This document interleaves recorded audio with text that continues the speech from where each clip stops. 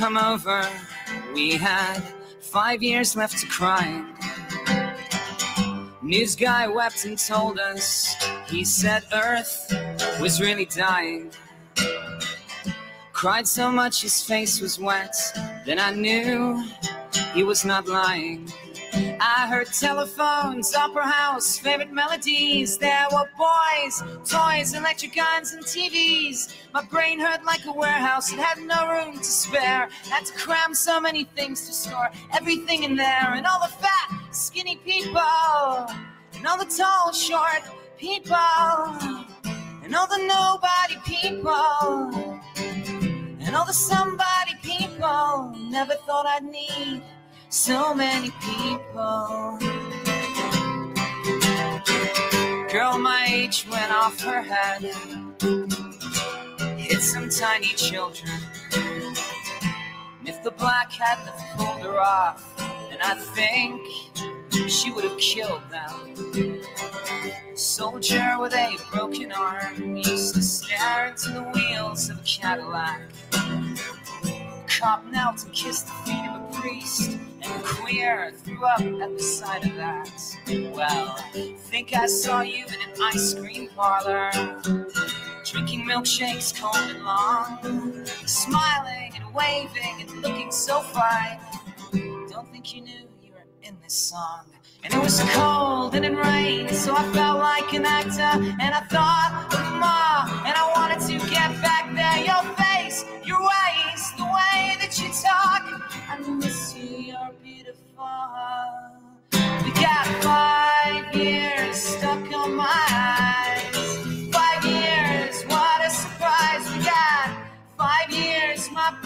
Brain hurts a lot. Five years, that's all we got. We got five years. Brian Mojo.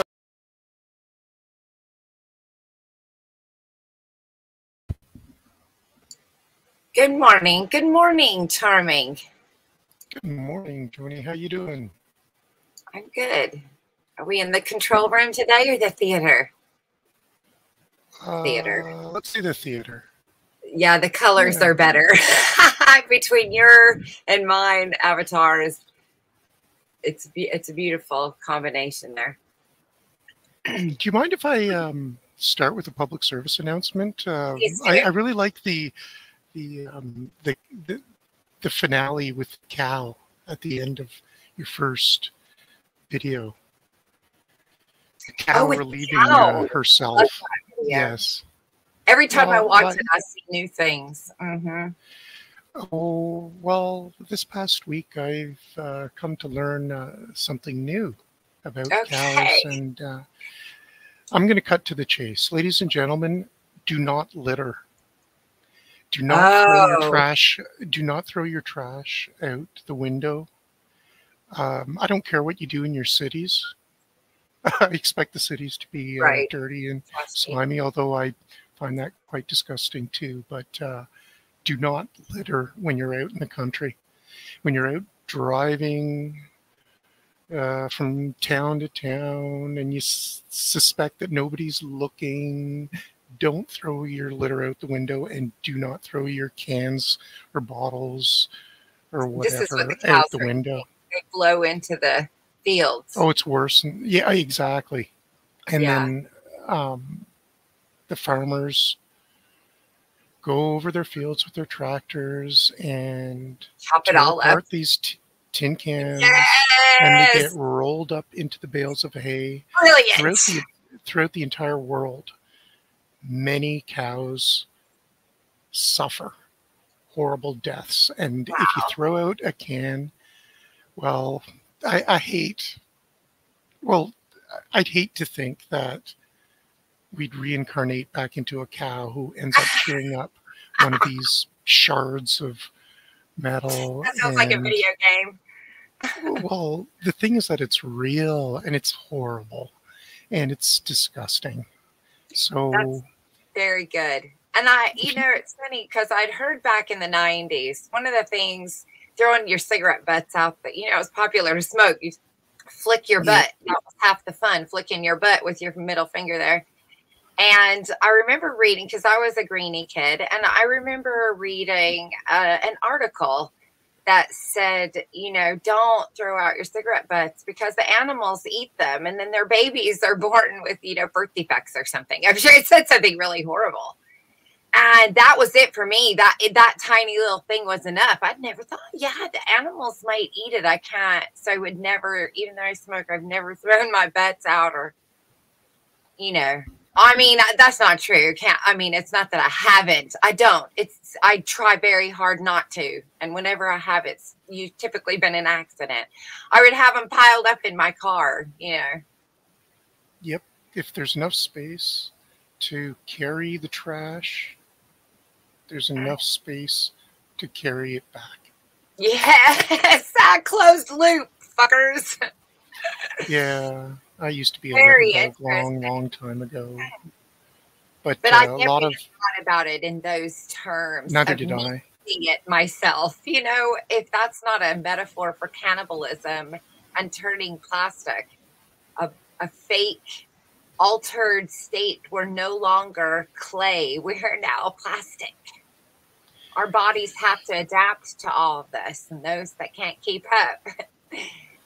Well, you know, it's it's it's interesting that you put it in terms of a fake altered state because it's connected uh, to this concept of this god helmet and all that other stuff. Um, here's the deal: is that the farmers, when they roll up their bales of hay, they run the the hay through filters to try their best to clear out the trash, and their filters use magnets to collect the metal. The aluminum tin cans are not picked Are- up by the metal, and the plastic bottles and glass bottles they're not picked up by the magnets. Mm. And so we thrive in the modern industrial era upon the magic of magnetism. Without magnets, we wouldn't have motors and wheels and engines and whatnot, Right. and electricity and all that stuff. And it cannot solve the problem of cows re chewing their cud and tearing through their entire innards from bow to stern with our trash. You Mm. know? Yeah. So, ladies and gentlemen, Wow, please don't throw your trash out the window. That's very horrible. hmm Yeah, and if you're out on a walk and you see trash, why not just pick it up and carry it home? Maybe you can set an example for somebody else. Maybe make a Well, I have to- difference. I have to tell you my wee one just because you, I'd get up and go get it, but it'd take me too long and it's not worth it. Let me just tell you what it said. She had to write a postcard to someone and she chose the mayor and it was for the litter problem. She is greatly bothered by the litter she sees. Now, this is not something that I've taught her or that I've read recently. She thought about it what the world's problem was and she looked around and immediately saw litter. We live out in the country right? There's a litter problem in our town and my wee one has wrote a postcard. I'm, I'm very tempted to send it but i don't want the attention okay? Because you know i'm sure it would probably be cute or something like that so it's very sweet. But You know, I um, encourage folks to set an example. Go out on a walk with a garbage bag and pick up whatever you see, and maybe somebody driving by we'll see you doesn't belong there. You know, at the very least, somebody who doesn't belong in your town, who's driving from town to town, they're commuting and they're tempted to throw something out. Well, they'll see you and they'll they'll hold on to it and save it for the next town that is Next town. covered in litter.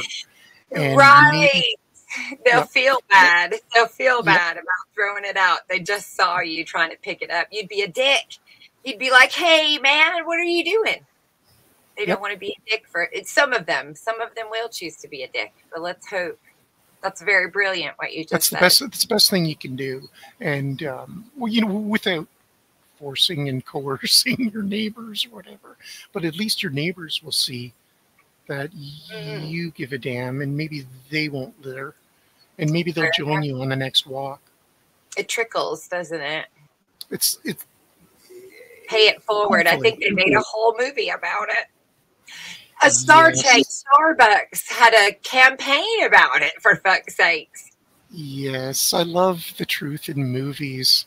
Oh, there's so many dots to connect.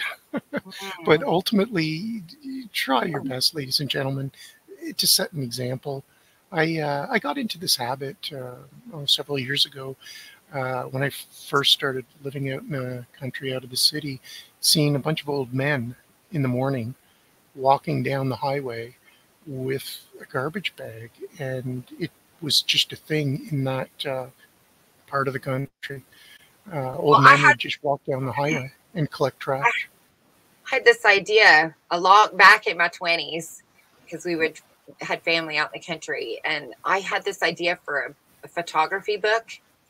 where I would go and take a picture, like very photo esque of the littered, as if the litter itself is the art, and Yep. clean it up and then take another photo. And it just be these, when you opened the pages, it would be this side by side of Oh, that's awesome. dirty Oh, or to clean. But I just could, nobody would do it with me, and I can't do it by myself. So, now I never made the book. But there you go. I'm a brainstormer more than an active doer. Yeah.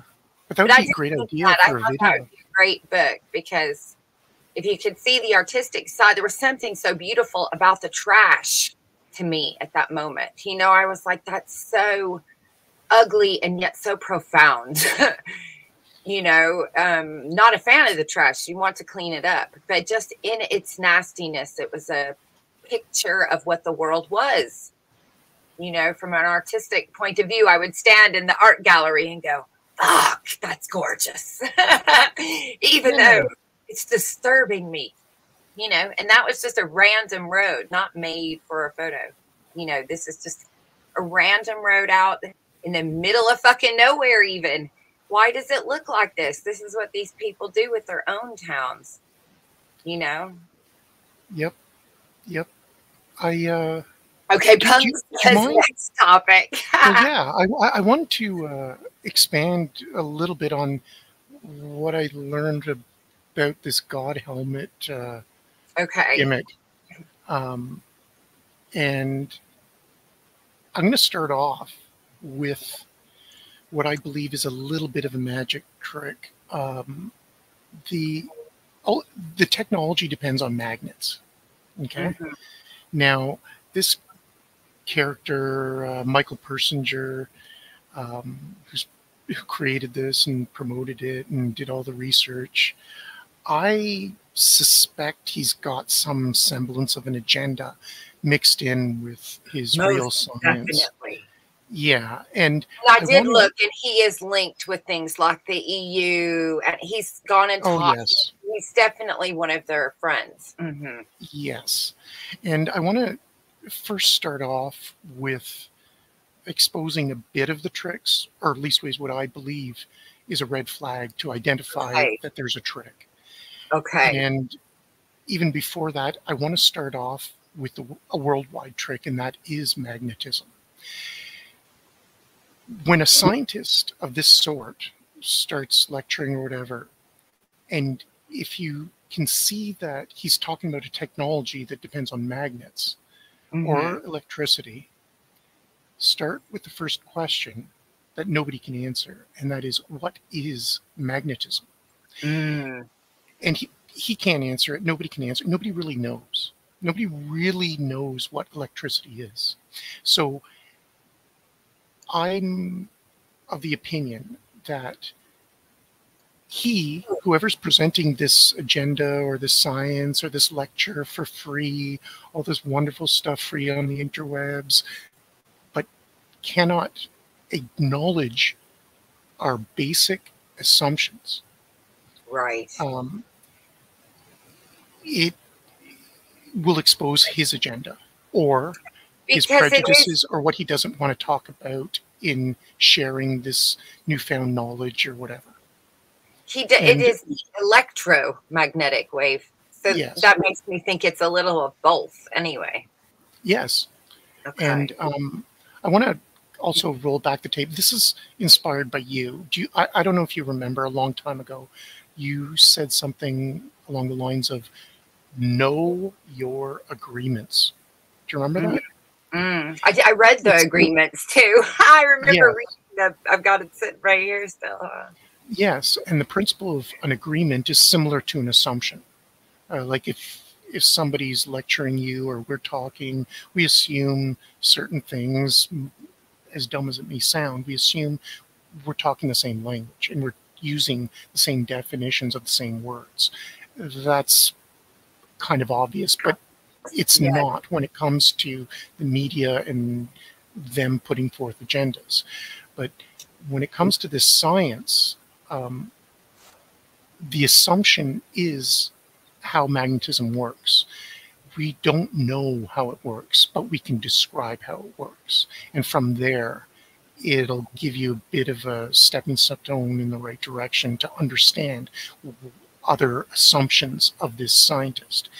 And uh, one other thing that this Persinger guy put forth, and it, it kind of gets people riled up, is the numbers. Numbers are used to baffle people and one of them was his seven hertz of the brain or something like this how whatever circulation of electromagnetism in our brain it circulates at seven hertz and this other thing in the earth circulates at seven hertz and something else at seven hertz and on and on and on like as if seven is a magical number which it is Right. I pointed Okay, that out. I said, it- it, that's I don't right. know. if- Yeah. I said, isn't it is a magical number thing? We got seven sevens everywhere. Yeah. That's right. It, seven is a special number in that we've got seven colors in the rainbow and seven notes in the musical scale and seven days of the week or you know they're repeated four times or whatever for the lunar cycle so on and so forth. So there is something special about the number seven in our physical world. But when it comes to him saying seven hertz hmm I encourage folks to ask, okay, what are the assumptions? And the assumption is a hertz. What is a hertz? Unless he or me Right. or you, unless we can describe what is a hertz, there's nothing really magical about the number seven. In fact, it becomes a magic trick. You see, because a hertz is a man made measurement. It's Mhm. like seven inches. We can say, oh, this is seven inches long, or this is seven feet long, or this is seven miles long. Whatever. These are all man-made measurements or units of measurement, and so is a hertz. Now, the colors in the rainbow are not man-made concepts. The notes of the scale of the musical scale are not man-made concepts. They're natural concepts. But the hertz is a man-made unit. And so when he starts telling us, oh, seven hertz this, seven hertz that, seven hertz that, he's playing a magic trick. And he's using our association of the number seven to real natural phenomena. Well, that is And- what he studies, you see. Yeah. You know, he's he's in the realm, not of the sciencey realm, but of this paranormal. He he's balancing between the two. He's standing on the fulcrum at the top between the two, mm-hmm. the physical science world of frequencies and the paranormal world Exactly. Gods. and he's trying to pull them together. He's trying to say they're connected. That's right. And Yeah. why would he want to do that? Because they're bound and fucking determined to teach me there's a devil. That's why. They're bound and yes. to split my mind into two entities when I'm actually one.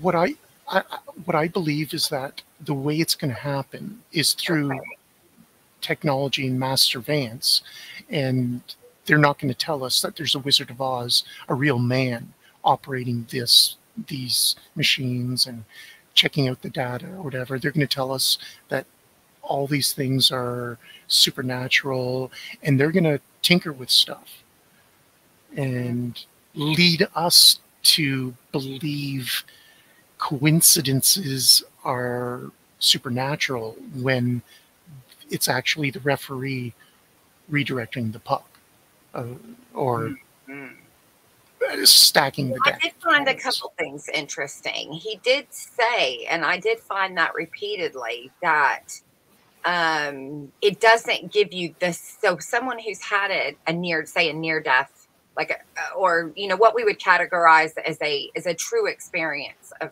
of this, um, or experience fainting regular. You know, you have to have had the experience first to know what it feels like.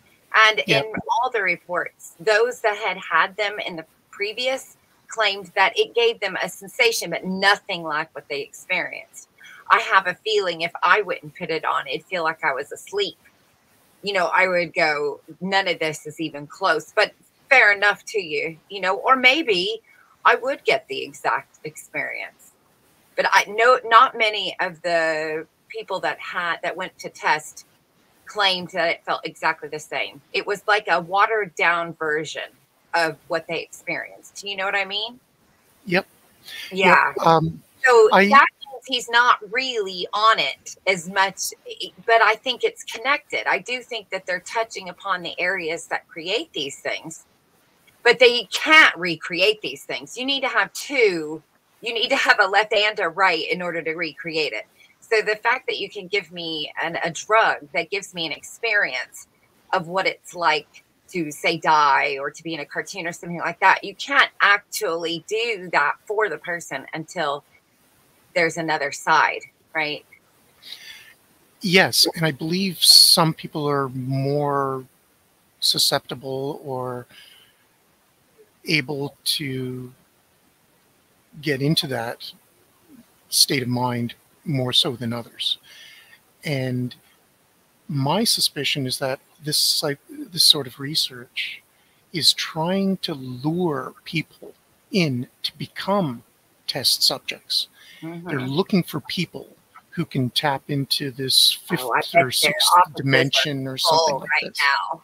It would be Pardon? like a return of the 60s and, or the 70s where you have just all these remember all the films that were coming out the ESP and they were doing all the experiments back then with people who claim to have that whole the 70s is back. Yeah. Speaking of a film, I, I, I want to mention a film that is that plays upon this concept. It's a film called Strange Days that came out in 1995. Um, Hmm. The, before talking about the, the theme and the, and the science or supernatural, or whatever, I want to encourage folks to watch the movie for the music. The oh. musical soundtrack of that mo- movie is phenomenal. It's one of the best from from that era, in my opinion. But the premise of the movie is that there's a technology developed that's kind of like a god helmet, but it's tiny and it can fit under a hat and it can fit under a wig. It's Or kind of like earbud. I can put it in myself. I don't even need to put the to put the mono the Yes. whatever tracking device in my stomach. I put it on myself in the morning when I get ready. yes. And what it does is it records what your brain experiences. Oh So fuck that- me! I just yeah. kind of I keep going. Jesus It's- Christ! Yeah, it's creepy, but ultimately, the whole theme of the movie is to play upon the concept of voyeurism. So, what people do is they record their experiences, and other people can put the cap on and just sit and recreate the experience. Much like you can record a video and sell the video to somebody who just wants to watch the video. But this brain helmet cap thingy um, records everything, not just the visual, but the auditory and the sensory experience. So ultimately, it becomes uh, a, a a medium for which people sell snuff films. Very disturbing, but um, it, it- it's it, it's an interesting film. yeah, and, um, Yeah, it uh, it was directed by Kathryn Bigelow, who did a lot of famous movies, um, and it was written by James Cameron, the guy who did the Terminator and the Titanic and everything in between, with I think Avatar and whatnot. And right. um, yeah, it was. It, it's got a lot of important characters in the uh, production of the movie, but uh, the, it the have movie itself. In it? Pardon me. It's a duck wants to know. Does it have Robin Williams in it? No, No. no. I'll um. Uh, Ah, sorry. Next question, duck. yeah, no. It's called. Uh, well, you know what? I'll, I'll write it into the uh, the chat. It's Okay. uh, Is it D A Z E? Strange days. no. Um, No, it's not even okay. Let me change my notes then. um, yes, write it in. That would be great. There we go. Oh, there we go. Okay, strange days. Okay, let me change that Z. I just assumed, you know, that was silly of me. There is another movie like that. Okay, I've seen Dazed and Confused. I've been dazed and confused. Um, yeah, that's uh, good. Excellent. Thank you. Yeah, I I, think- encourage folks just for the music. The music itself is hypnotic. It's really, it's a very good soundtrack. But the premise behind it, it was to pre-program our generation into this concept of technological voyeurism. And it's, uh, but but it plays upon the same sort of concept of a cap and electrodes and whatnot. Yeah. um, and uh, this this um god helmet thing is also similar to something that came out a few hundred years ago. People wore lightning rods on their head when they were out in in open areas. Um, apparently, farmers would wear them to protect them in stormy weather when they actually had to work outside. They couldn't go inside, and they were vulnerable to being struck by lightning. And so they'd wear that. Maybe there uh, was a lot of static. What was going on in the world Yeah. that made everybody so prone to static? Maybe they weren't necessarily being, you know, lightning, but static, like a shock at the pump or something. You know what I believe is that what we on occasion experience on Earth as a as a um, uh, being struck by lightning is exactly that. It's an accumulation of static that just builds up, and there's just too much of it. Yeah. So uh, much like you know when rubbing your feet along a carpet builds up static, or I was thinking about static earlier when you were talking about the plastic because it becomes a stat plastic is that's why you rub a balloon on your head, right? So there's Yep. there's a staticness to if you've ever seen micro particles of plastic are static. That's why they make staticky little dusters and things like that that attract through having a, a charged item. Yes, and um, it uh, static manifests itself pretty much everywhere. Um, just more so with certain materials than others. static But, is uh, what I see. If you ask me what what it what everything is, I just have static. That's how it presented itself to me way back when. And I asked that question. That was the visual I got. Basically, static, negatives and positives bumping into each other. Yep. Repeatedly. Sometimes you're a negative for a while, sometimes you're a positive for a while, but you're always one or the other. Well, then that leads me into where do we come up with the concepts of reincarnation and back and forthisms? These, you know, it starts to go down a, a trail. You know, I'm willing to wait to find out. I want to know. I, I, yeah, I'm gonna. I know, you know, you want to sit back and watch for a minute. I That's hope that there's an option. I hope we have an option. Like God, I'd we like- get to sit up and watch for a minute, knowing we can't Exactly. interfere. And then one Yeah. day we go, God damn it, I want to interfere. I think I can change things. but then you get down there and things get in the way and environments alter and change and you miss the jump and the wave took you out a little bit too far and you drown. The next one, you go back up, you'll watch for a while and you'll go, hmm, I think I've got the pattern. I'm going in again like a double dutch. And this time you land it and you start dutching with and you become a duchess. I don't know. Save some babies from war, starvation. And then you go back up and you go, well, I didn't really make much of a difference at all, did I? The thing I is better sit not back and watch some more. yeah. Well, I, I hope there's an option. I, I, I That's hope there's an option. Heaven.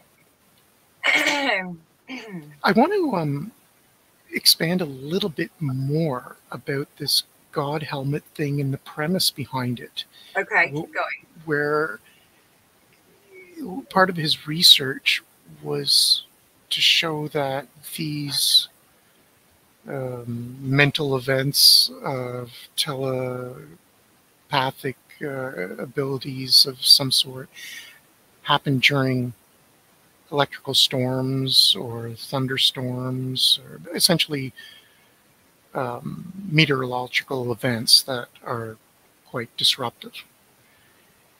And um, like you said, you during you know like when was that? 20 years ago.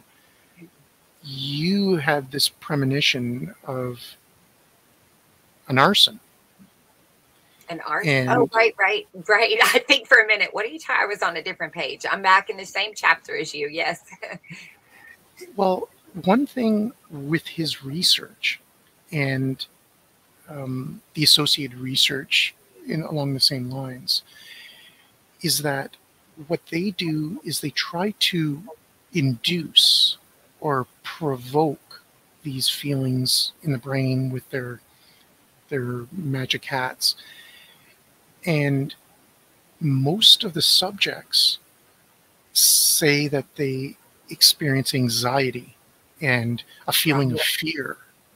And that's the commonality um, amongst this, the, the test subjects. Mhm. And they're trying to figure that out.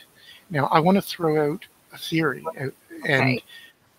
ultimately, the because you you asked if the prophets and the oracles of long ago were tapping into that same faculty. Yes, And that's my suspicion. yes, and um, I want to suggest a purely physical explanation, uh, or rather, a non magical explanation of what you experienced and what they're they're they're observing in the research, and that is perhaps this electrical field disruption is sensed inside our brain. Perhaps the pi- pineal gland um, is triggered, and could- whether it's through the magnetism or X-rays, who knows? But ultimately, there's a the physical organ in our brain that senses a change of something, Mhm. and it provokes a feeling of anxiety or fear or Mhm. some swing in emotion. Mhm. Now, um, this is just a suggestion, okay? But perhaps leading up to this electrostatic uh, thunderstorm, the people who control the emergency vehicles in the city have this strategy where they get prepared for a possible lightning strike. Or they get prepared for people going crazy.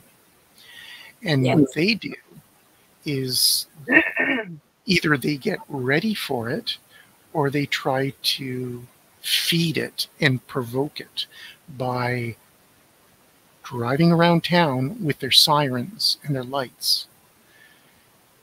And so, leading up to this event, we and everybody in the area hears more and more sirens. And so, subconsciously, we have the idea of impending danger or there already is Yeah. a danger. And so, the idea of a fire is coming could have been inserted into your anxiety. In other So- words, I just happened to roll the right dice when I guessed. Right, Yes. right. and That's they provoked it. They they they stacked the deck. it's possible. Now, yeah. Now, um, for what it's worth, it's a man-made danger. Like an arson is a man-made danger, sure. you know. And there's this guy on the internet who uh, called Lincoln Kareem who lives in New York, and he does many things in exposing agendas. And one of them is he follows emergency vehicles in a city and shows that every once in a while they turn on their lights, drive around town, creating hysteria, and go nowhere. They drive in circles. They stop, get a coffee and a donut. Um, Interesting. And- so, in other words, yes, they're not, their lights and sirens are on, but they're not on a call. They're just randomly turning them on. well, yes. It it seems like they're driving around when there isn't. Well, now hang on. I'm going to challenge that, and then I did want to comment about what you said something earlier. Um, so that's that's. I'm not saying that that's not true. I absolutely believe that's true. But here's the question: Is is that the case because they're being told to do this, or is that the case because there's not much perks to being an ambulance driver except waiting for an ambulance? And even me and my friends used to throw pickles at the clock at work. Do you see what I'm saying? To see who would stick to what number. And I would say that if I was an ambulance driver, every now and then, I might just throw on the switch and go through the red light just because it's fun. yes, You know what I mean? So, yes. In you know- I okay i'm just saying there's another possibility it may be just a sequence of the way humans behave meaning of life stuff that we associate patterns to that are just unassociated we're not recognizing typical human behavior when these things are happening so we equate it to a bigger agenda much like the black sedan phenomenon that happens in our brains we only have to have that experience once and we'll create it for ourselves over and over and over again Exactly. And I, I, I would take it even further. If Okay. I, if I was the owner of a city, I would order my emergency vehicles to routinely drive around town and be on ready. Probably just to check the equipment. Exactly. yeah, that way they don't even realize they're participating and they don't get in trouble and it's fun and it plays on. It uses both. And and of course that's just as plausible. It really depends on you know what side do you believe oh in the meaning of life this is where Ulick and I have a opposite stance whereas he believes that there's more orchestration and I believe that there's not. I believe that more is not orchestrated than is and it's just happening to line up because of the age we are and our normal behaviors at double digits. Is exactly why we would be sitting in this position where we're unsure rather we're intent do you know when we go back and we tell stories from when we were younger? And it, and we tell it from this this um, perspective of afterthought and so even though we might have done something really cool at the moment we have no idea why. I have no fucking idea why i said that to her. I knew she was going to punch me in the face and still it came out of my mouth. And so was that me that that swapped that experience there where you know she didn't hit me and she was humiliated or whatever from whatever i said? Do i tell it from a state of i do. I say i don't know the fuck why but later on i connect the dots and i go now i know why because know thyself. I, I was raised to be funny. Funny kept me out of getting hit. Funny you know having a sense of humor about my life not being connected to people. All these environmental issues that happened to me turned me into the smart mouth that i became that day. Do you see what i'm saying? So i i acted yes with intent because it was the building blocks of where i was at that exact moment. And also with unintentional i had no idea why i did that. At the moment it had already come out of my mouth before i realized what i was saying. You know what i You mean? You know what? I, I, I know exactly what you mean. And I would encourage you to continue to be that way until you die. I'm gonna have to be because I've tried so hard to be something else and I cannot. It does not matter how much I stifle it. When the stupid woman at church says something, I cannot keep my mouth from saying something mean back after a while. After a while, you know, I'm not an ass, but at some point, what the fuck did you just say? Comes out of my mouth, you know, like some kind of challenge to the to the comment that's made. And I always think back that was stupid. And then I'm kicked off the church board and they don't want me back because I just won't go along. You know, and I get it. I get it. Yep. You know, it's funny. And I can't. um, You're right. I will never be able to. Even if I agree with you, I'm going to ask a separate question. I'm going to go, well, do you really think that's the smartest thing we should spend the money on? I'm still going to want to stop in the juror box and ask, are you sure we want to just vote guilty? Can we not think about it for a minute? Well, you saw him with the axe, you saw him with the glove. I know, I know, but that's a that's a big choice I'm about to make. I got to be really sure. You know, look at I- all angles. yes. Again, I, I- I'd encourage you to stay that way and share that with younger folks. That's it. Okay, so now, okay, um, I do want to answer Punk's question because I also want to present it to you as well. I think it's a great question he asked earlier on and last, so he did remember. So that gives him major props. He just got a check mark in my little black book. Punks came back and asked the same question. I love that. Um, um, what about why did why did we stop becoming Christians?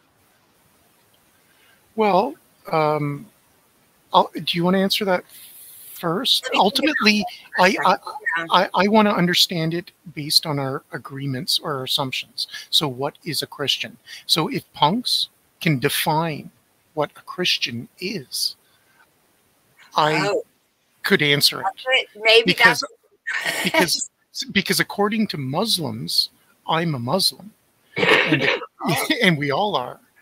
And Okay, let according me to do it. Christians, okay, let me do it. Let me define it because this is exactly how I took the question. So he can tell me if I'm wrong. He can either say yes or no. I defined it as somebody who went to church, read their Bibles, said their prayers, and believed in a Christ coming into your heart, the little prayer you do, and then you are born again into, you know, those who died on the cross. I'm assuming he means the Bible Belt version of Christianity because there's a lot of other Christianities out there, including what you said and Catholicism and all of these things, and they don't fall in the same. Maybe they do. I don't know. But my interpretation was, you know, that church, but that was my experience. So it is completely confirmation bias. Hmm Okay, so he says it's a it's a Christian of disciple. Yes. Okay, then I was right. Here's why I stopped being a Christian. They are liars, thieves, hypocrites, pedophiles. They're disgusting people, disciples of Christ. I wish not to be one of them. That's why. Anyone who puts that label or that banner of love over their head scare the fuck out of me. And I lived amongst them and was one of them. I was a real disciple of Christ, if you will. And what I realized was what a load of horseshit. I've been worshiping the wrong God. And I still believe in Christ and I still believe in Christ behaviors because the meaning of life says Christ was our fourth stage. He was he was the one that showed us the way in, in, a sense him and those like him around the world. They were a preschooler in a toddler world and they showed up and they said come on guys stop shitting in your pants and stop doing this. You can be nice. You don't need to bite each other and you don't need to hit each other. We can get along. We can play board games. Look how much fun preschool is. And that's where i see their archetype coming in and same as now or you you have but but the problem today is is that when that that because that toddler into preschool is the last of the rebellion for that stage. We only have so many rebellions in our lives three to be exact. And our first one is at three the age three where we absolutely challenge everything. We are we have just climbed over all of the other kids in the daycare center to get to this point and now the world has become a no. Everybody keeps telling me no don't bite don't hit don't touch that don't do this don't no no no no no. My world's full of no's. I want a world full of yeses. And so they start challenging the no's to see where the yeses are.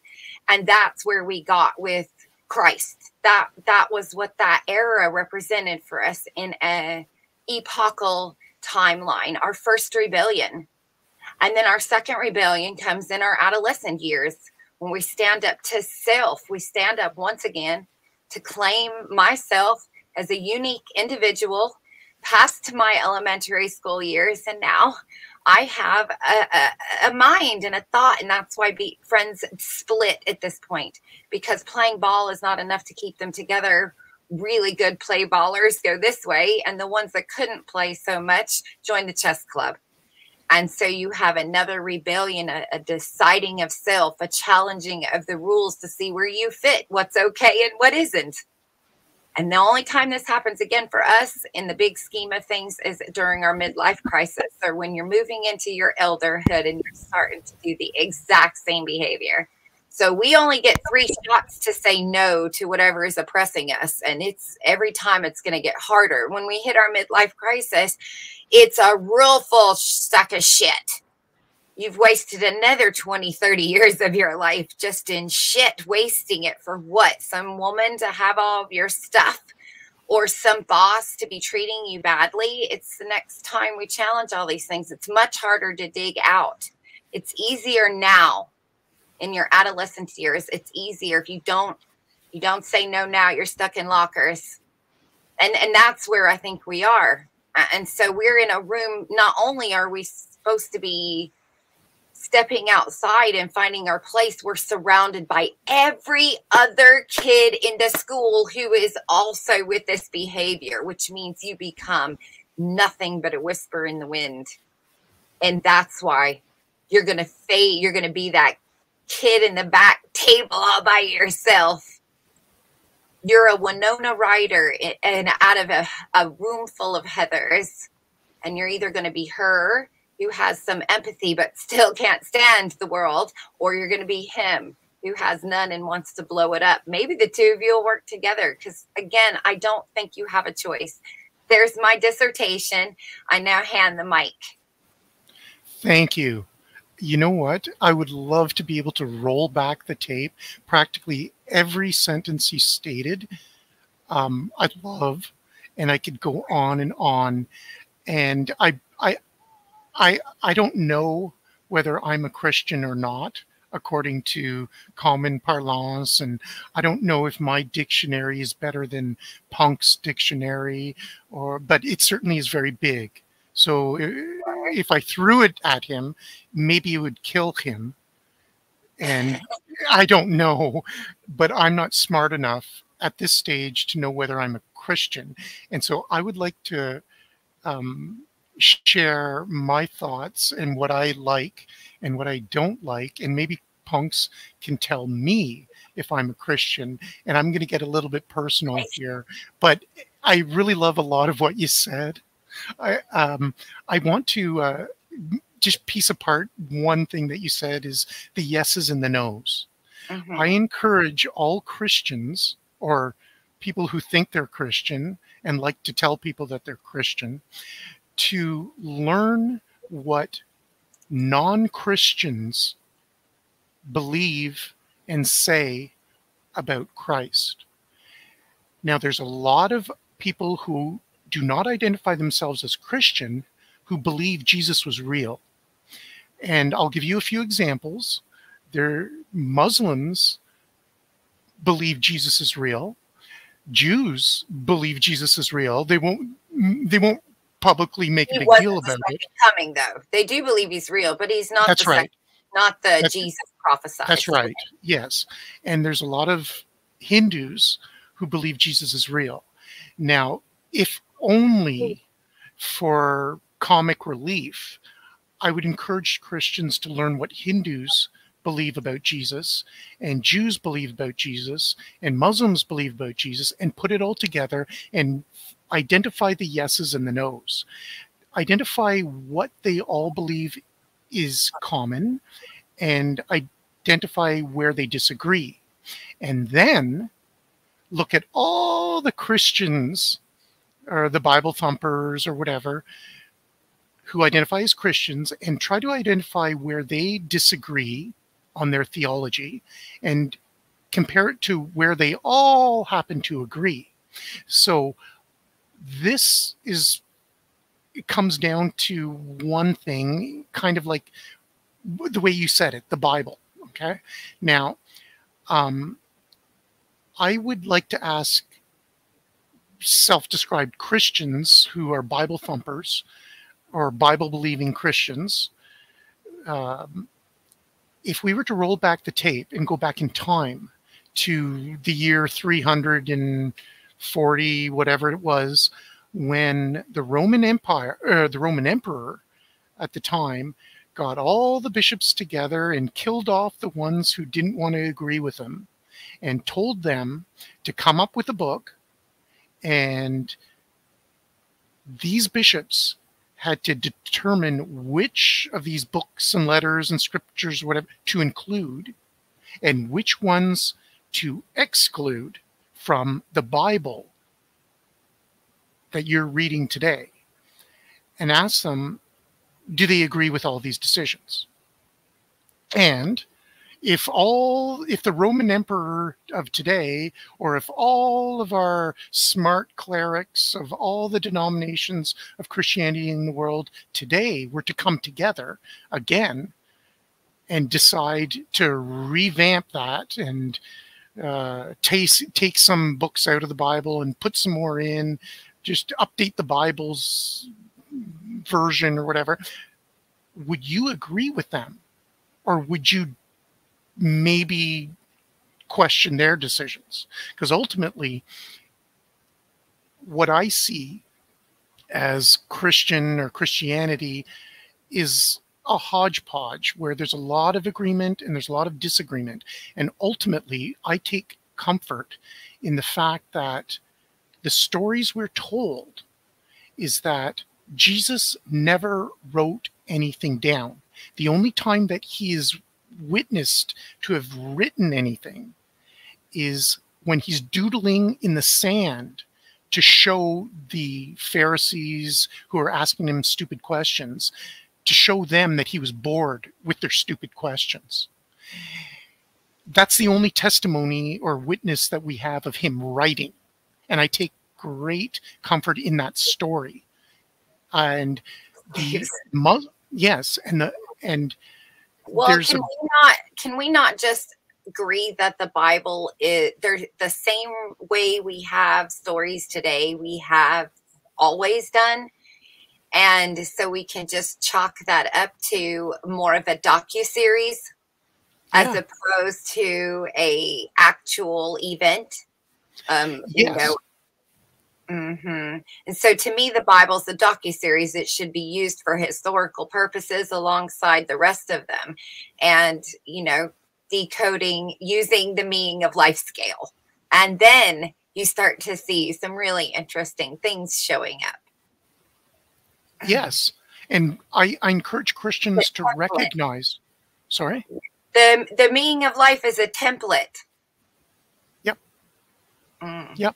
And I encourage Christians to ask why are these educated clerics, whether they're from one Christian denomination or another, why are they devoting their entire life to creating books and stories when you and I can enjoy very simple things in life the way the vast majority of the human race has, given the opportunity.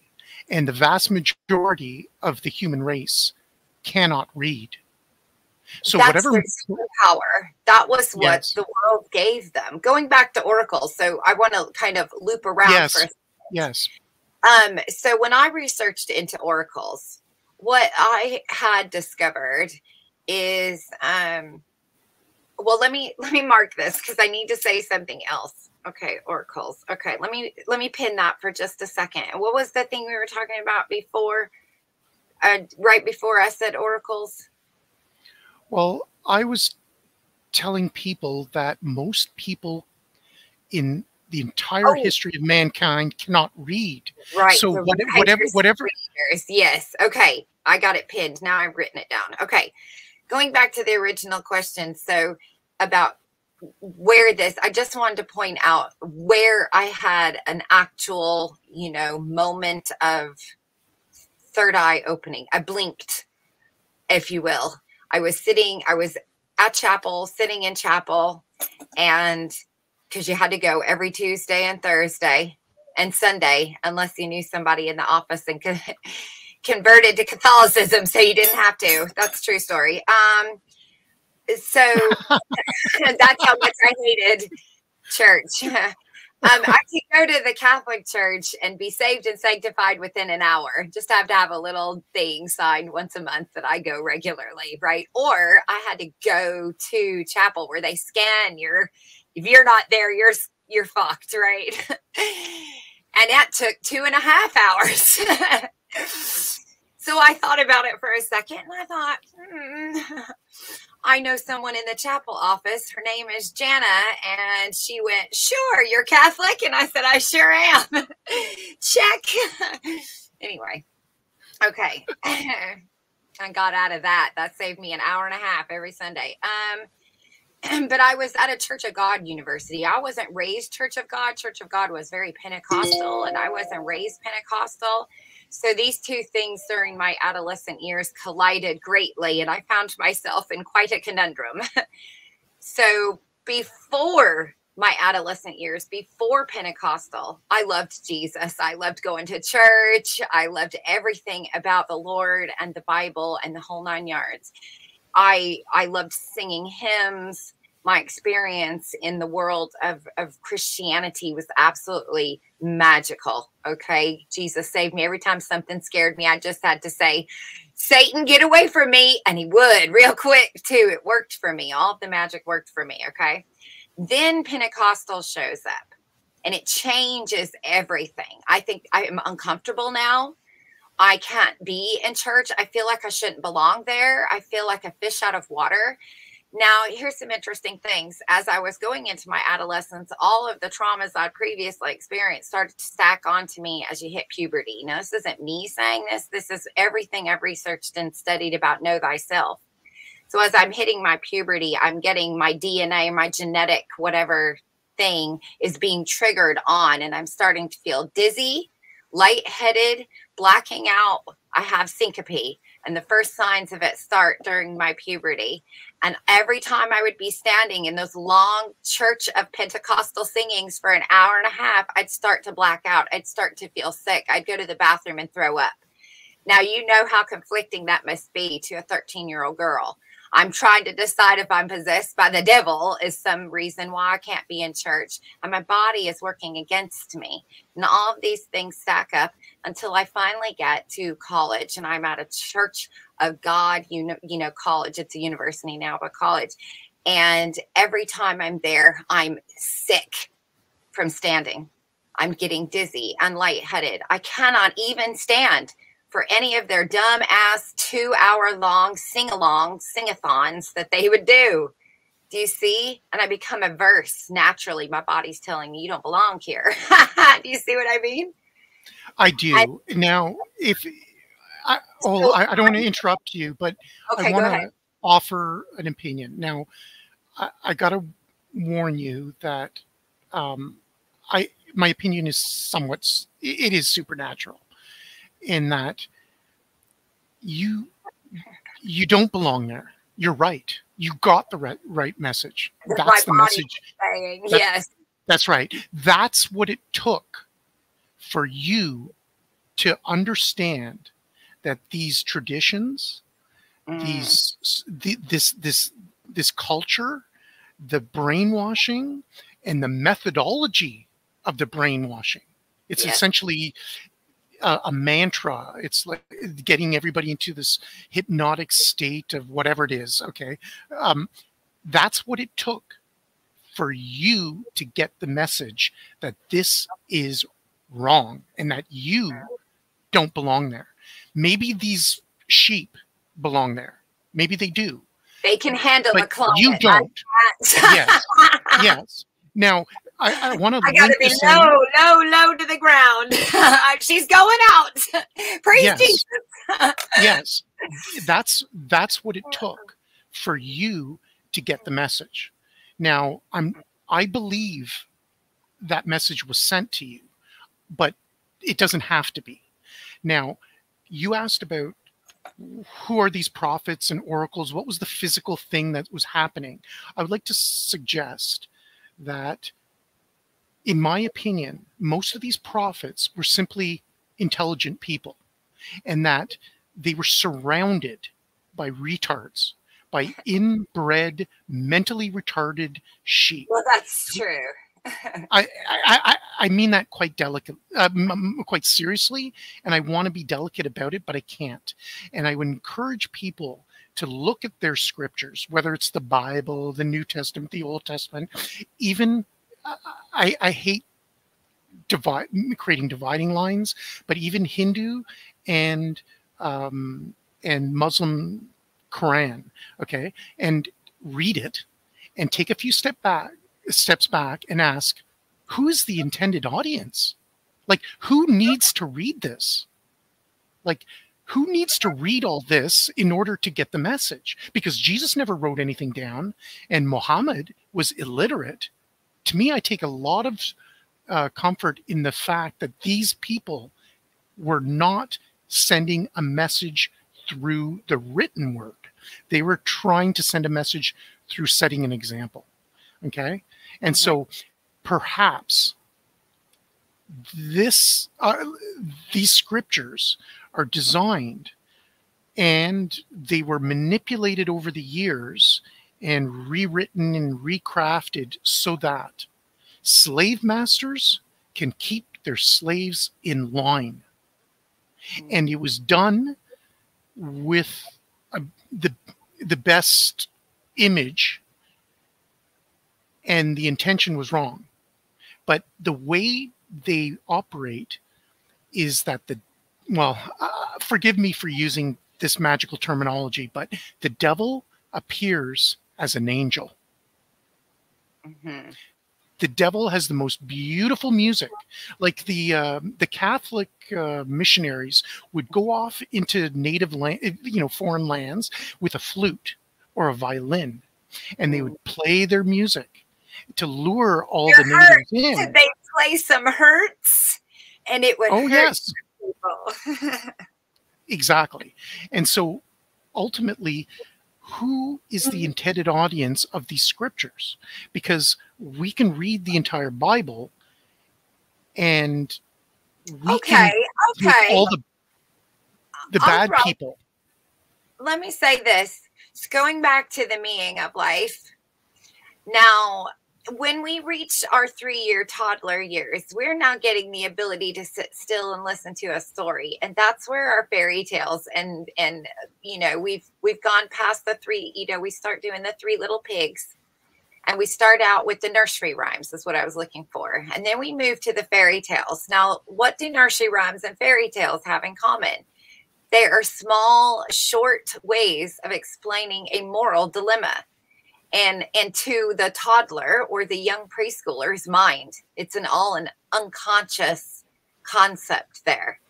And so that the bible being nothing a- and any ancient text any of them from anywhere so outside the bible all of them coming from these same areas these are the the nursery rhymes and the fairy tales of the written of what we have access to. The same reason why we have these crazy stories about Thor and Zeus, right? These are these are a natural phenomenon that the human mind does at a specific age and time and they all happen to come out when you use the meaning of life scale right at our preschool toddler era that is our ancient times that's pre the toddler is ancient imagine that you're building with big blocks and things. So for these written word and these written scriptures to come out of that time, that I would expect that. I could have I could have predicted that. Had I had I had this beforehand, I would have said, "Oh, hey, right here, everybody's going to start writing stuff and hiding it in bookshelves. I mean, jars. It's a behavior we would naturally have. So the manipulation out of it again, this is where I tend to disagree with this side of things. I don't know if the intent was there or if it just was accidental because the behavior is there. So are they acting with the in a hundred thousand years I'm gonna have this? I don't think they were yet. I still don't think they were yet. I don't think the intent began until they started recognizing the pattern of generational archetypes. And then we got the manipulation. So if the book was published in 1990, uh, in the science, you know, 1991, it was published, then I must go back law of three, 30, 60, 90, multiply that by three because they already know that rule from before. That's uh, what, nine times three, 180 years? No, is that correct? Yeah, no. Three, how many years? I'm not. yes, I homeschool. you should be praying. Um, you know what I'm saying? They that's how long that we can I can accept a manipulation taking place.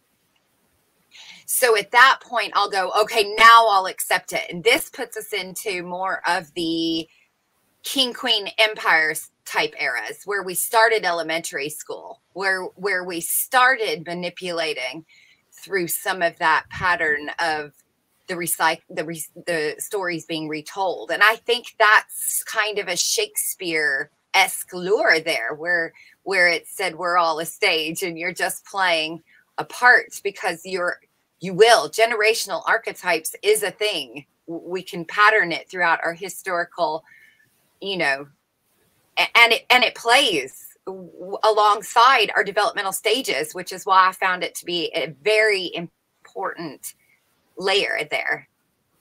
So so I don't know how I did my thinking would be that it didn't begin to be intentional until around the industrial era or before that, you know, where we started to have business show up and fraternities and universities and and these types of things were happening.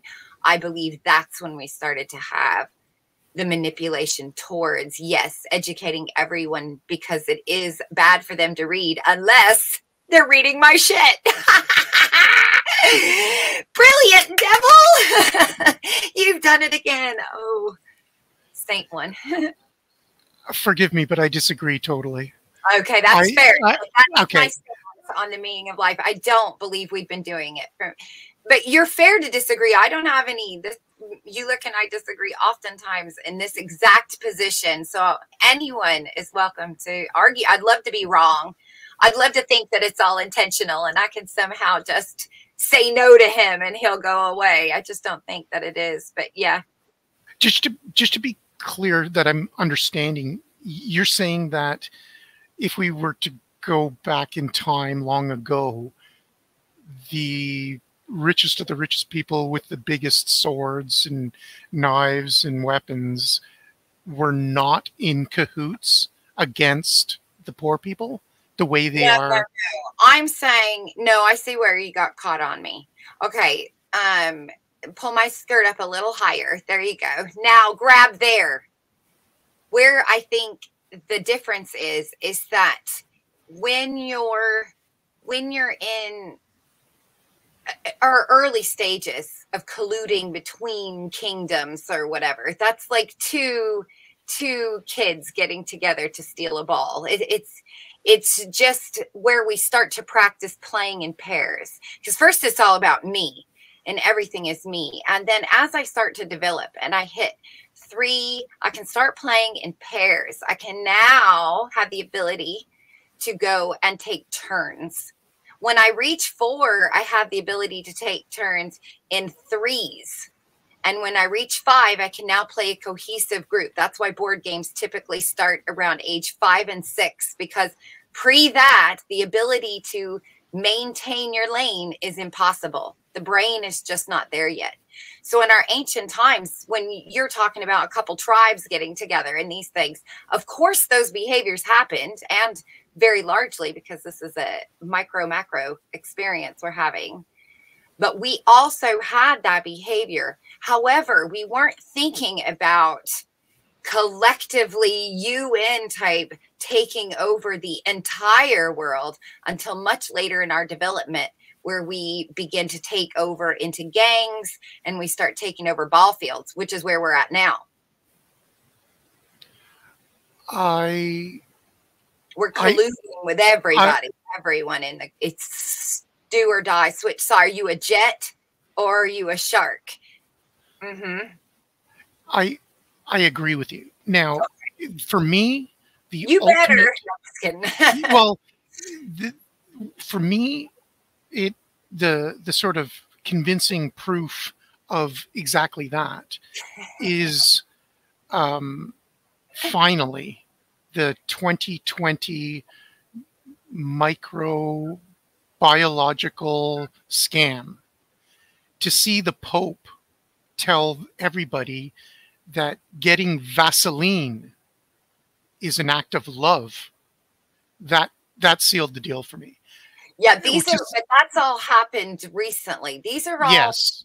that are still when we started listening to the pope when the whole world said when they infected enough people with their venom and we all jumped on board i'm an american right and you're a canadian right and so we're all one in these ways we're all now that's when i think we started seeing the intent behind it. 300 years to make a slave. These are intense even even as far as like the machiavellian all of that era all of that is is the era of these are every every historical year we go by is a second on our epochal clock our biological clock so thousands of years go by and i may only be 10 years old or i may be just going through that specific stage. So my behaviors are are all in that era.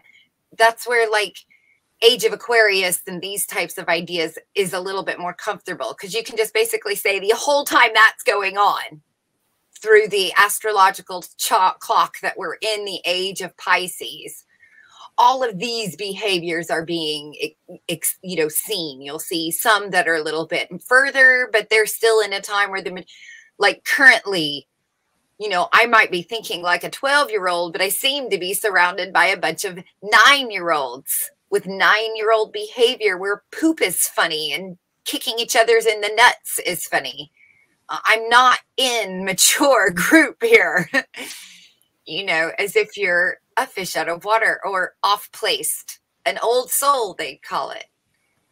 Yes. And I, yeah. So for me, I just think that's when we started to see the behaviors of collusion, where the real that that that idea of generation i can control the wars now they just happen to happen because we're kids and every three days we have to have a temper tantrum but guess what I now recognize that and I can control that temper tantrum for my own gain. So maybe I don't have the temper tantrum every day. I only have it when I want a chocolate bar and I know it works on mom because she's tired and ready to get out of the store.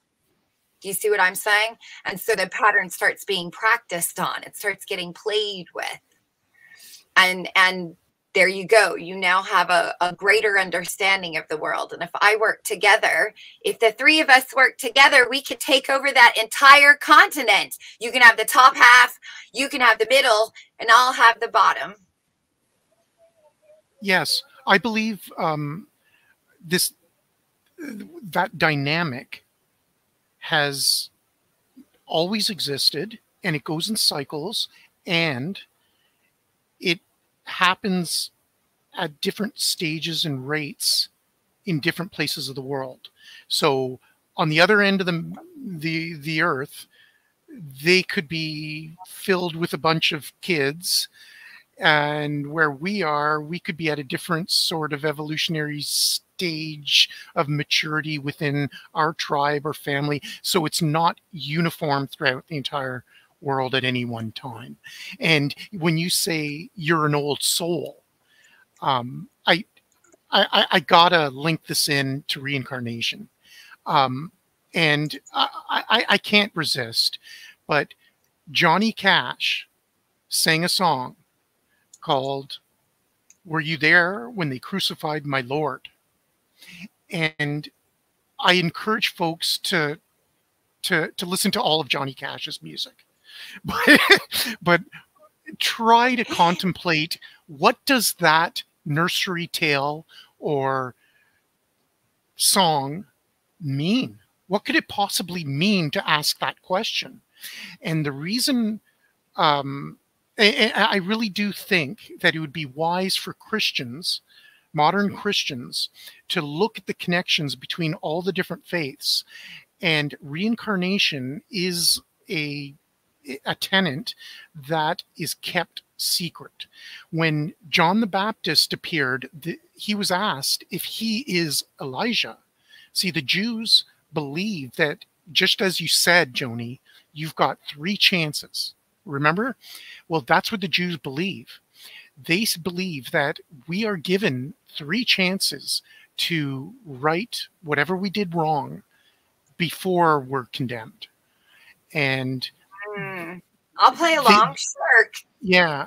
Now, I'm not saying this is true or not, but that's what the scriptures say. And I I, I love Johnny Cash so much, but um, the, the the folk song was written with some intent, I presume. So when we ask, "Were you there when they crucified my Lord?" the question is I believe, eliciting the concept of reincarnation. And I believe that all of these evil, evil clerics are believe in reincarnation and they believe that they can come back and continue evil. Just like we can come back and become better and better, we don't have to. And the reason why they go through so much effort into writing scriptures is so that they can hide these secrets to their future generation. And I, I want to lead this up to something that you just said, and that's about controlling the world. You can't you can't control the world. You can't control a tribe or whatever. What can you control, and where does the lack of control um, pose a problem? You can control your family, right? That's the limits of where your control over society, in my opinion, should end. You should control your kids and balance that with teaching and lead them to grow up past the meaning of life and become adults. But what you mm-hmm. cannot control is you you cannot control your son or your daughter falling in love with a bad guy. True, that's where your you that's that that's where your control ends. I'm I'm gonna try. yes, of course. I, but I'll let you know how it turns out, but I'm on the road to That's right. but, but, but, that's that's the challenge of all parents. Um, or one of the the few. Um, but ultimately, if your daughter comes home with a rocket scientist, what do you do? My parents had that dilemma. Oh my god. He's at university going. He's perfect. He's not. See, that's the trick. Or being a rock band. you did it, girl. that's the trick. See, that's oh, the trick. Man. Okay. See, so... that. so all these scriptures are designed, I presume, it, well, least ways. There's different in, interpretations, but I believe they provide advice, both good and bad, so that your parents, if they were smart Christians, dare I be so judgmental, if they were smart Christians, they would be they would have been able to maybe um, filter a rocket scientist out of the family or prevent you from getting all tangled up in a bad guy, just like you know every parent would want for their kid. Mm-hmm. Um, but ultimately, the limits of our control in society is our kids falling in love with a bad person. Well, I think that, but that's being manipulated because for so long, and, and here again, though, I'll link it back to generational studies. Because that goes along with the overprotected, underprotected, overprotected, underprotected pattern that happens within the generations. And so uh, when your your whole surroundings is for for a couple generations has been you know a, a class ring being or the football you know the the quarterback of the football team being your highest goal right and that's how we've we were been brainwashed into thinking. And now suddenly we're being exposed to the fact that the quarterback is a, a piddler and he likes to rape women in the locker rooms and he's an asshole and he trips the dumb kids. And you know what i'm saying? And he teases and makes fun of people or whatever is exposed right now. Everyone just runs the other way and they find the secluded nerd right? And then that one ends up being a narcissistic prick. And then we run the other way to the big guy that's going to protect us from the narcissist. I'm going to punch you in the face, you little wimp. And then we're stuck going back and forth between these two, all of which being controlled, all of which one side is controlled and and by default the other side gets controlled as well they lock into each other and people who perhaps are good mates and matches may not be found. I, I wonder. I think that's the you know i was always told in church not to walk the fence and and that was bad to be lukewarm that i had to pick sides the bible told me so and now I absolutely disagree with that. That's the fulcrum point. That's the point at the top of the pyramid where I can see one side when it's down and one side when it's up. And I can stand there with two feet on both sides and see both sides at all times. I never lose eyesight of what's going on. And I'm watching everyone run past me over to that side and then run past me down to that side. And I'm standing lukewarm right in the middle as they pass through me, like a ghost, you know, walking yeah. through worlds. I think that that's to me, it's a juvenile thinking. I'm not saying that it was a form of manipulation to tell me not to stay away from the fence. I think that that's what parents do to their children when they say, don't look over the fence. In other words, you know, you I protect my child from the world. For a long time, they're only in my house. We're talking three-dimensional thinking, right? They're just in my location and I have control over who sees them and who they see. But at some point they wander past me into a fourth dimensional world where they can look over the fence and see and they can meet other people and have experiences. The Buddha story, Jesus' story and you meet from all walks. You you walk amongst the other side for a while.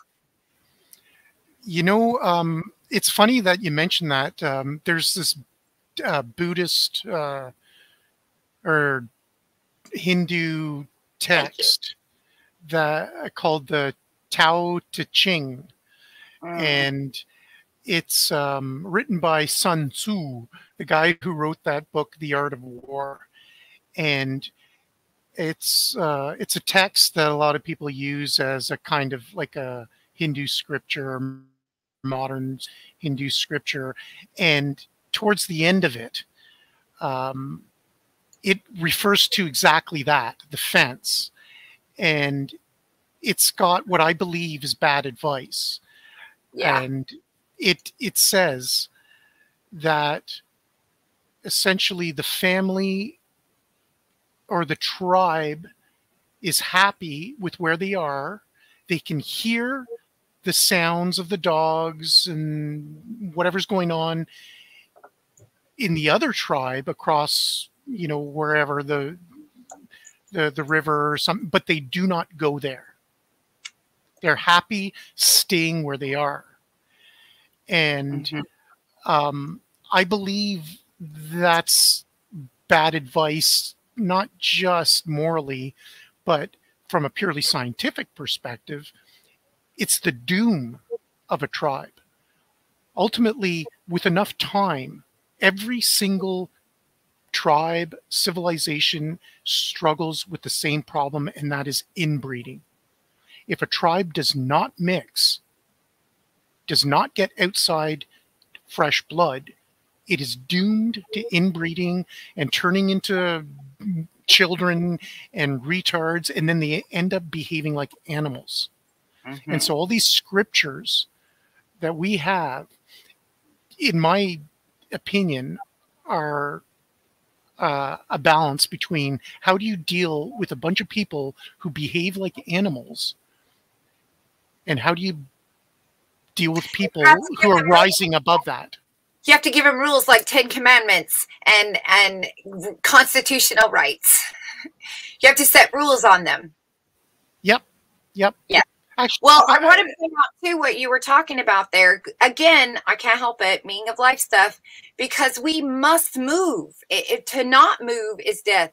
My my need to go and mix with them is part of god's mathematical equation to push me outside. So if I won't go on my own accord, it will fuck me up and I'll die, right? Survival of the fittest. If I follow through with my instincts and I begin to crawl and I start moving, then I eventually continue my life. If I never move from that spot, you're called an invalid and you're going to die. You're going to just whisk away. But so something in us causes us to do that to want to meet other people, to be attracted to things that are different. Look, something shiny. That is ingrained in us. We are meant to do that. It's part of the equation, I, I think. You would just assume that eventually you'd blend in to the same thing. Now, that's evolution, if you will, but the idea is that it's in us anyway. We can't avoid it. I can't turn three. I can't stop myself from turning three. I'm going to move unless something prevents me from moving, whether it be fear, whether it be confinement, whether it be disability. I'm going to move. I can't help it. My feet just do it. My knees just scooch. My arms pull me. I'm not in control right now. So the idea that we started to go outside of our tribes or started to exit the Garden of Eden, which is what I think that story represents there. Um, it's a micro story inside of a macro story.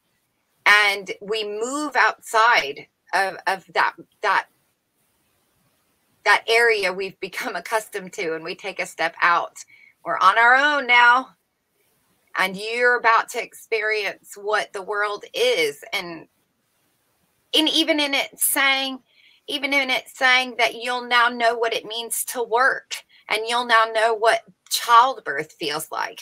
Of course you will, because if you never move, you'd never experience those things. It's the physical of the movement that gives you those experiences in the first place. You're growing up. You made it outside the first fear of annihilation. Congratulations.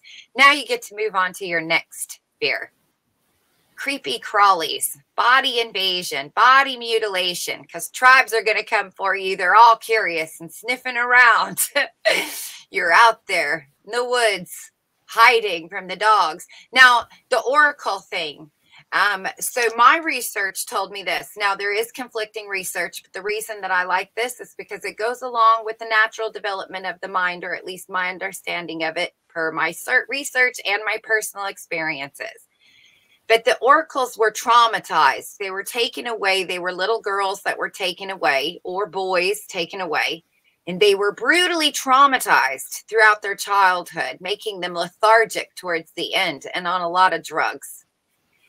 And because of this, they were able to skate in the in between zone or the lucid state where all of these premonitions and thoughts come from in the first place this uh, near death type experiences. Oftentimes they were brutally abused. You know, the same thing we hear happening to celebrities and politicians and Illuminati people's children and themselves as they're traumatized or, or, you know, X-filed, if you will, because that was Mulder's experience. He was traumatized by the experience of his sister missing, and then he skates between. Do you see? So oracles are known to have been traumatized human beings, rather created by man or by the world itself. We'll call that God, an oracle. So that's the reason I kind of liked what he was saying in the sense that it even if he's off, the idea of that area where the frequency of the heartbeat, the brain, whatever is going on reaches these peaks. And this is the experience you have. Possibly, possibly, I'm not saying you can, but possibly capable of tapping into things of the supernatural or unseen realm. And in which case, oracles might be able to have, in some cases, if it was done right, if I had the ingredients with just the right size newt eyes, I could, in fact, create a connection. Or at least I think I can. And therefore, I'm going to try, and whatever crazy thing comes out of her mouth. And because I believe in magic at this age, remember history and everything, I believe in the supernatural by nature. If mom hides that teddy bear behind her back, I have yet to recognize it it's gone. the the first magic trick ever recorded is the cup and balls by the Egyptians. Now I find that very interesting. That makes a lot of sense. It goes along with hide and seek and peekaboo. It's the exact behavior that happens. Um, I think you know maybe it is possible. Maybe it it's something. But even if it isn't, all I have to do is think it is uh, possible, and I'll act as the law of manifestation, I'll act in accordance to the oracle telling me I'll win or the oracle telling me I'll lose. Much like the oracle in the Matrix saying, Would you still have knocked it over if I hadn't have told you?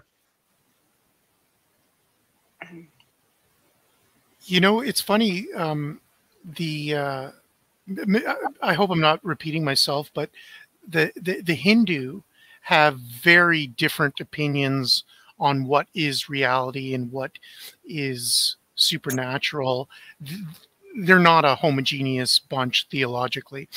One of their beliefs is uh, uh, like a mother god that they called Maya. And what she does is represents Earth or the physical reality. And what they see as the physical reality is that we are her children and we're given toys. Mm-hmm. What we have before us in this earth is just a bunch of toys that she gave us, and she sits and watches us play. And every single object that we see or every sound that we hear is blocking another object behind it that we cannot see. Or it's it's it's preventing another sound that we cannot hear. And so the child at the age of 3 getting up and moving is changing and interacting with this physical environment and is becoming part of it now there's a lot of parents who have children who are born um, abnormal with ailments of various sorts. And I've I've encountered some people who have children that don't seem like they're going anywhere, unfortunately.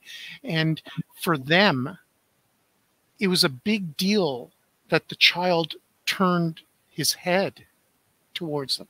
Like it was almost a year before the child actually responded to anybody around it.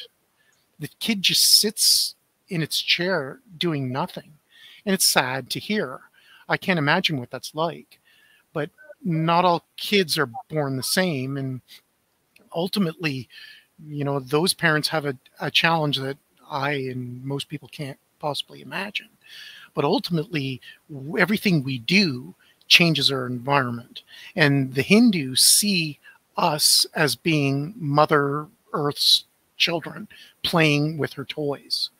And the concept of Maya has a dual meaning in that it's used to represent illusion.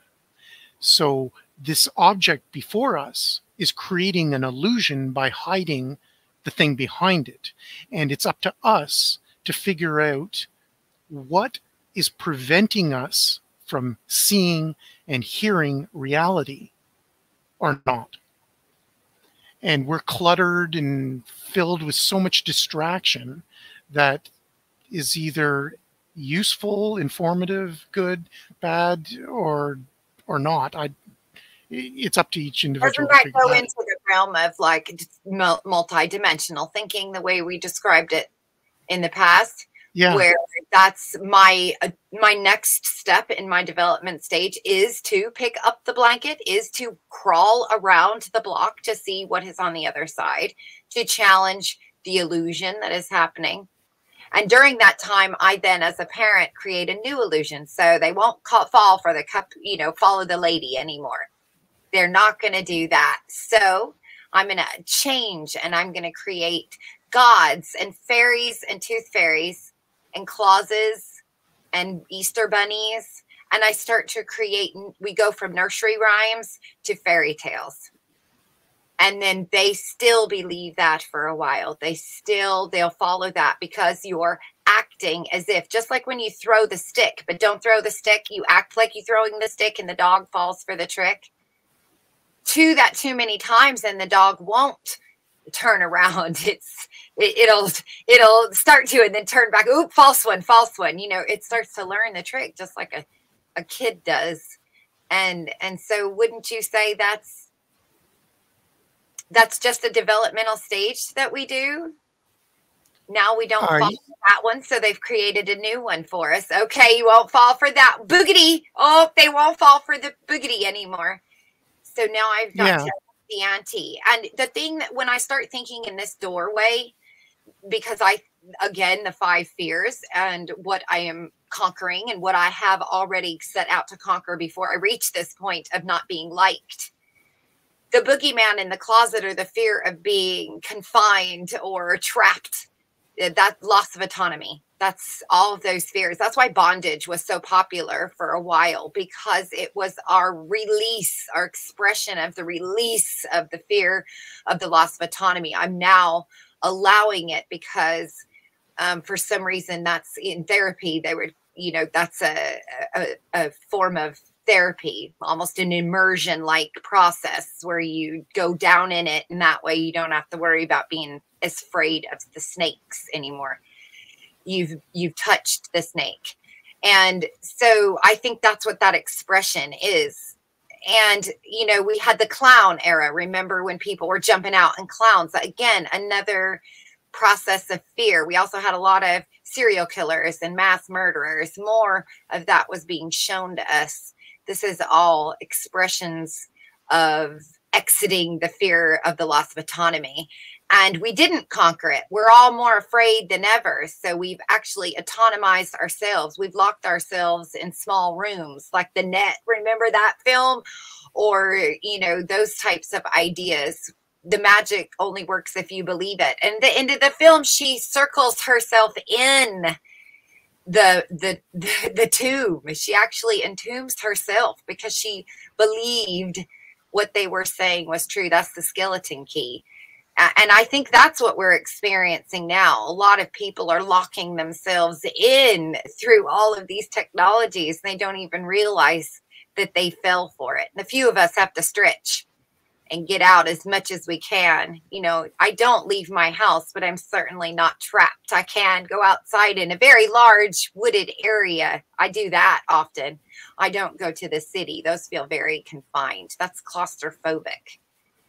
You know, some people believe- say I'm agoraphobic, but in reality, I'm claustrophobic. I don't like small spaces. I want to be able to breathe. I don't like hands around my neck or feeling like I can't catch my breath for so many fireworks going off. I'm just consistently in a state of high alert in those areas.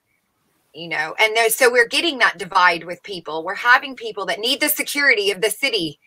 They need that. But then this other group says, fuck that. I can't live there. City mouse, country mouse stories coming out in real life.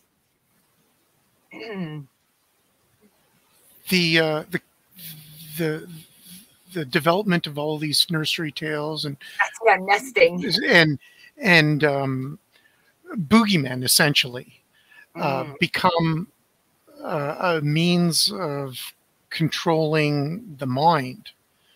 So instead of physically, if, instead of physically controlling people in confined spaces, the what I would call the bad guys of the world are using mind control with magic spells and just to to keep us stupid, essentially, and fearing things that may or may not exist.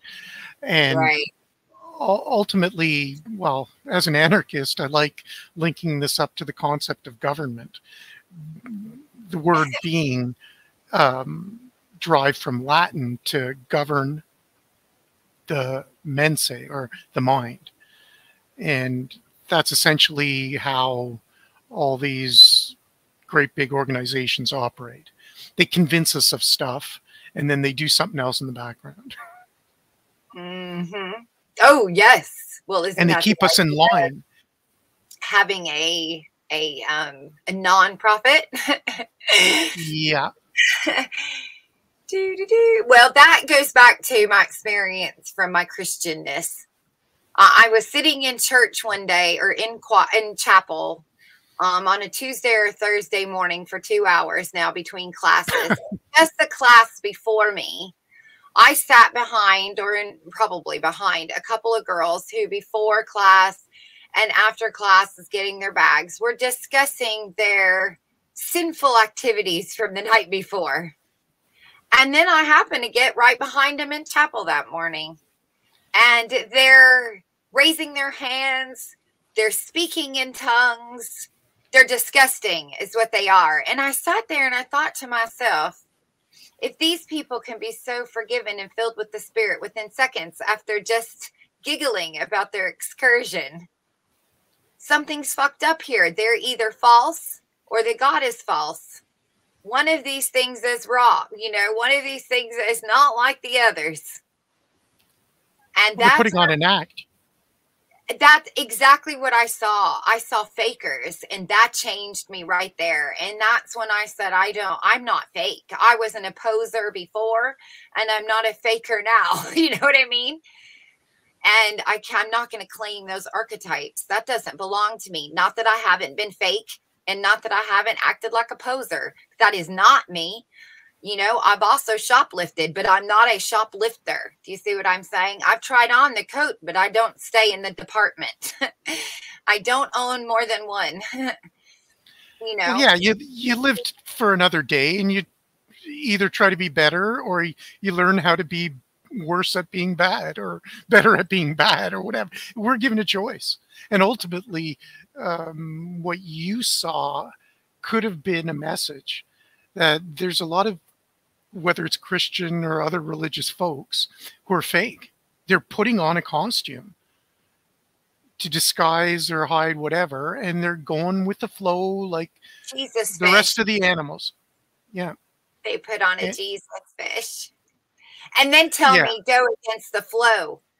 I- mean, the psyop that's played there. I'm a Jesus fish. Go with the flow, but that's that's the wrong religion. In Christianity, we go against the flow. Remember, we're the men. We're the small minority amongst the many pagans.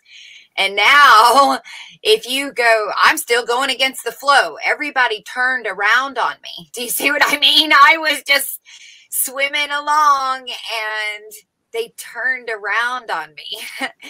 and I'm still swimming against the flow now. You know, just, I, I still don't understand. I thought we were going along here. And now suddenly I don't recognize anyone. I can't find a Christian on the planet to save my life. Uh, You know, I didn't even know what that means anymore. All I see is demons. I don't even see anyone talking about angels. The whole world is just full of demons and monsters. There's no angels in the world. Where is that? If angels existed, wouldn't they be here already? Would I be one? Am I supposed to sprout wings like an X Man and become an angel and everyone's going to just do whatever I say? That's ridiculous. None of that can exist because it makes no sense. None of that makes any sense. You have to be your own angel or you're your own devil. Just you by yourself. You you pick sides, whatever it is. I would like to offer a theory and maybe some advice. First of all, I I want to just continue with what you just said. You can be an angel yourself, and you can be angelic to somebody else. You can be the angel for somebody else. Uh-huh. And that You leads can. to my flashback and when I had my near death experience, or one of them, and I had my review of my life, I didn't see all the bad things I did. I saw every tiny thing I did, things that I, nobody else even knew existed. I wasn't one that went around and said, Hey, guess what I did last Tuesday? Uh, I saw all of these really cool things that I had done, none of the bad ones. And and I couldn't find anyone at the time who had the same experience. And anytime I'd mentioned it, everybody told me I was kooky anyway. So I was just like, fine. But recently I came across one where I heard a guy mention the exact same thing. I didn't see it was some great philosopher, not philosopher, maybe a monk or something. I don't know. Somebody wrote something, but I just came across it. I didn't, I saw all the good things I'd done. And I thought, well, see, so did I. And know thyself I chalked that up to the fact that every time I did something wrong, I felt so much guilt at the moment after. Like that. Why am I not one who continued behaviors? Because they made me feel bad. I felt bad. I didn't feel good and I couldn't let it go.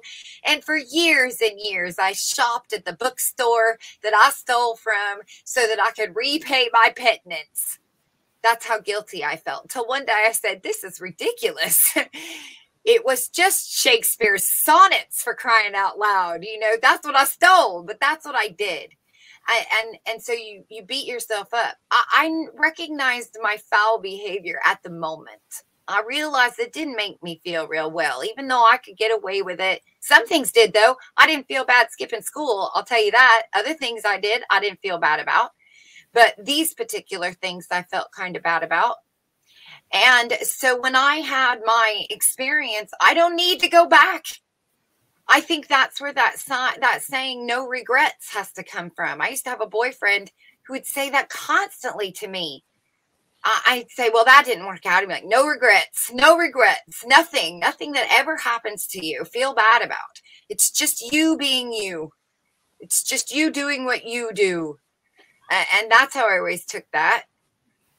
And so maybe the world is full of a lot of people who just don't feel bad about it. They feel like they can justify it in some way. And because of that, that's why they experience that. More people do. I, don't know. These are just my theories at the moment. I, would like to share a, a, wacky theory along okay. the same lines. Um, I'm going to springboard again from from Asia. The the Hindu um, The, the Hindu present the world with a particular perspective, comparing us to animals. So the, my question is, when the bird or the eagle swoops down and grabs a rabbit and tears it apart and eats it, or the bird uh, eats a worm, is the worm the, is the worm suffering? Perhaps. Is the rabbit suffering? Yes. Is the eagle doing, committing an act of evil? Does right. the eagle think in terms of doing something bad? Oh, I better not do that next time. The eagle doesn't. Wow. Like, you see? So we differentiate ourselves from the animal kingdom in many different ways. I would suggest exactly what you said you feeling bad at the time is a distinction that some people may not have. And my theory is that we are human animal hybrids and that we have a mix between a human spirit and an animal spirit. And it's up to us to balance the two or fight one or not fight the one, embrace one, or not embrace the one. But I observe people behaving like animals. But I think that's normal for their age. I think that's typical of double digits and that late elementary school, you know, where where you know you start to have that pulling you're pulling butterfly wings off you're you're pulling the legs off you're not you're not thinking of these things you know you're poking sticks and setting ants on fire with magnifying glasses, pulling yes, out but your you're watching. Mm-hmm. Fight, but, fight, fight, and everybody comes running. Yes, and but some people never grow up. Some people spend their entire lives. The werewolf comes into the the Sorry, werewolf. the werewolf, the monster they're coming into from the the adolescent stage. There's um the the wolf, you know, the wolf dog man. All Yep. of those fairy tales are coming from an adolescent type stage there. Um, the Yep. X Men, even um, mutate mutant ninja turtles. They're teenage mutant ninja turtles. it's it's a, sign, a signature for puberty or a change. It's an animalistic thing. You can't help yourself. She is making out with you, and you're you are feeling. You can't help yourself, and some of you push to the limit, and you end up in date rape charges. Do you see what I'm saying? And every Yep. every teenager remembers a moment, boy or girl, where they couldn't stop themselves. And if the kid had said no, you would have, you know, not everybody would do it in an abusive manner. But you know, come on, come on! I got blue balls now. You try, you'll plead, you'll do anything. You know, and not everyone takes it to the extreme, but every kid knows that moment where they feel the begging urge, where you Yes, could it- could transform if the moon was in its fullness. Do you see what I'm saying? Yes. yeah and i think it's I, I would encourage people to consider animal behavior that isn't imposing and isn't coercive or isn't aggressive and that is the sheep okay the sheep just goes along with the flow just like the fish goes with the flow doesn't think okay the the, the farm animal doesn't think in terms of the doctor being a veterinarian. They think of the doctor as providing health care. They don't think of the. Or do they the- think of the doctor as a pain in the ass? I mean, what do That's they? right. You know, cats and dogs don't want to go to the veterinarian. They don't see it as a helpful thing. Neither do children. So they see it as a. I see animals as in that childlike mind, which makes sense because Yeah. most people treat their animals like children, and I think it's because they reside in that. They they don't understand. They don't. They don't go, oh, thank God that person has poked me. They don't ever think that. No babies thought that. No toddlers thought that. No child thinks that. It's only until they reach their preschool and school age that they start to recognize the benefits. The doctor, I know it's going to hurt to go to the dentist, but we got to get our teeth. You can rationalize with an older child in ways you can't with a younger. Dogs can't be rationalized with. I can't. Well, it's for your own good. And then all of a sudden the dog jumps in the car. No, you're dragging their ass. You know, I I I want to also add the converse, and that is some people treat their children as animals, and they never stop that. And since you know the concept of, or the dogs and wolves have been brought up, um, I would like to give some advice to anybody who's a dog owner, and that is to take dog training courses and classes. And more specifically, there's different philosophies of dog training. There's philosophies of coercive dog training, where dogs are pulled on a leash and beaten or physically, you know. Yeah, and then there's and rolled up newspapers. Uh-huh. Yep. Yep. And then there's what I would recommend non coercive dog training, which is reward based. So there's markers and rewards. And so using the Pavlovian reflex, dogs are trained to perform certain behaviors with the concept of a reward up until they don't need the reward. Ultimately the idea is non-coercive. Now it's it is a level of brainwashing the dog but it's not forceful. And i in my experience it's fun and it helps understand human behavior and distinguish people who think and behave like sheep because they were trained to respond to certain things and people who recognize brainwashing and try to look over the fence.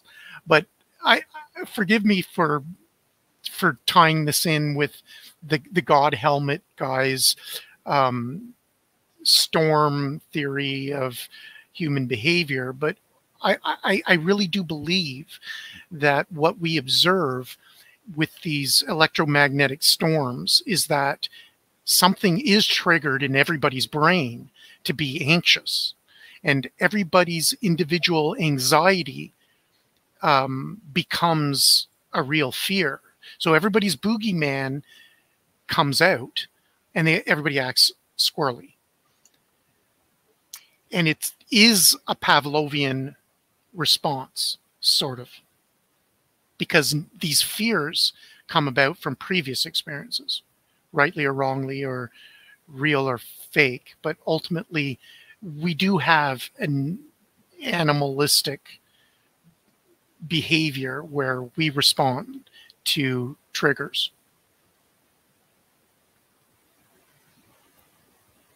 Well, um, yes. But I still don't know if it's intentional. Oh, that I don't know. That that, that that's totally, and it, I don't think it matters. I believe that over the years, prophets and oracles were in the know. They recognized that everybody acts squirrely when a, a an impending storm is coming about. Okay, so then that goes back to the idea of trauma creating problems for the human being. Absolutely, and, And I the crazy making, uh, trauma bonding. All we're all in it together. Are those sirens you hear? We're in it together. Call one eight hundred Crime Stoppers. I I roll it back to how children are raised, and I believe we're in a culture of child abuse where our parents and our grandparents were given models of parenting that was neglectful, abusive, uh, stupid, and essentially brain control. Eh, Essentially, our parents were our first brainwashers, for better or for worse. And how But were they ultimately- brainwashed from their parents? Oh, How were exactly. they brainwashed from their parents? And who did that? Newspapers. movies. exactly.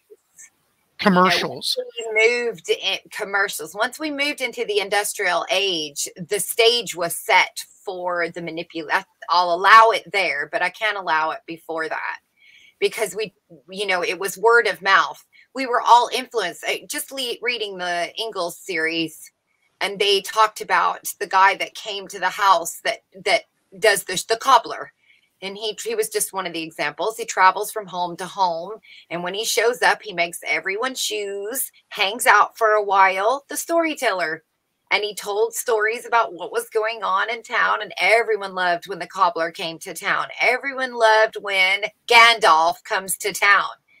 Or the storytellers that tell about adventures of Robin Hood. Do you see what I mean? And they get up for the night, free room and board, free dinner, and they share the news and then that becomes newspapers and TV and that's where the stories get told. The stories we have are from the storytellers.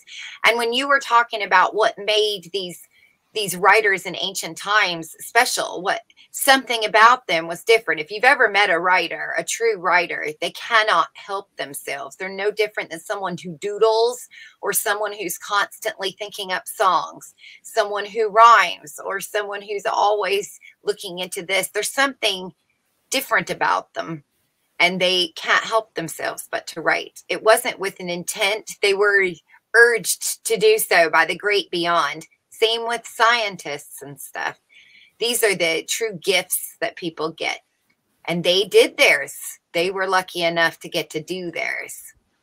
I don't think they could have helped it. I think they were born to do that. Someone was born to do that. There's a lot of Buffies that are born on the planet, but all, or a lot of Slayers, right? But only one becomes the the next Slayer, right? Eh, the, all of them. There's lots of them at any given moment, but they have to be at the right time in their life, an adolescent. They have to be in the right environment in order for them to be chosen, and they have to wait for the one before them to die that that's how that program worked and so that was them there were lots of wright brothers but only one got the the title and the photograph in the encyclopedia britannica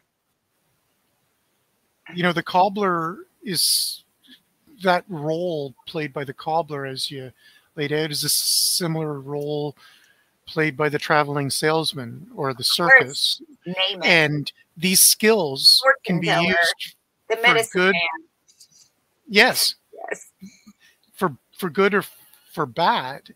Um, these people who traveled around or whatever could use their their oracle skills to perform magic tricks and deceive people, or conversely, to share new knowledge. And my guess is that they developed the skill, much like the magician, of figuring out who are the sheep and who aren't. And the cobbler could perhaps be doing a different job. And cobbling is just the cover. Much like, in my opinion, the priests who listen to confessions are doing what seems to be overtly one job, appearing as an angel, helping everybody get to heaven by confessing all their sins, and could perhaps be doing a different job in the background of figuring out who and how to blackmail an entire community. But do you do you I see and I'm sure that happens, but I find it really hard to believe that it goes back to the cobbler. I, I don't I do I at some Oh point yeah, definitely was. Um, but for a long time, even the even the cobbler would have been just telling what he was told. He'd only be repeating, and because he was so friendly and likable, you know, everyone looked forward to you know Gandalf. Every you know, and he was doing himself. He was being himself. But when business Exactly. got involved, and we fast forward to the the carpet salesmen knocking on my door or the politicians knocking on my door, the agenda is very clear and i'm not saying obviously at some point you know the if the if gandalf's coming through town at some point some fireworks company decides to promote him and they put a sticker on his skateboard when he goes through these fireworks came from acme do you see what i mean but that doesn't happen for a minute so eh, i think for a while it's happening in its natural course and then somebody older or smarter none of the above just uh, gets a visit from an angel and they go, you know, what if I put advertising on the back of the bathroom stalls? yes.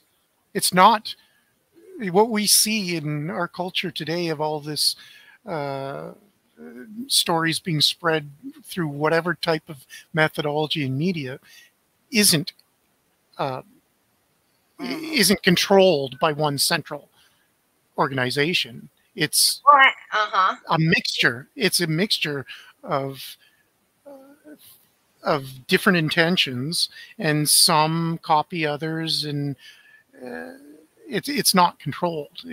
Absolutely, just like the circus coming to town today. What's a clown? Clowns scare the the association between like uh, predators and creeps dressing up as clowns to kidnap children is is terrifying. And yet, if we were to go back in time to the first, who's the first clown in the world? Who knows? But at some point, clowns didn't exist.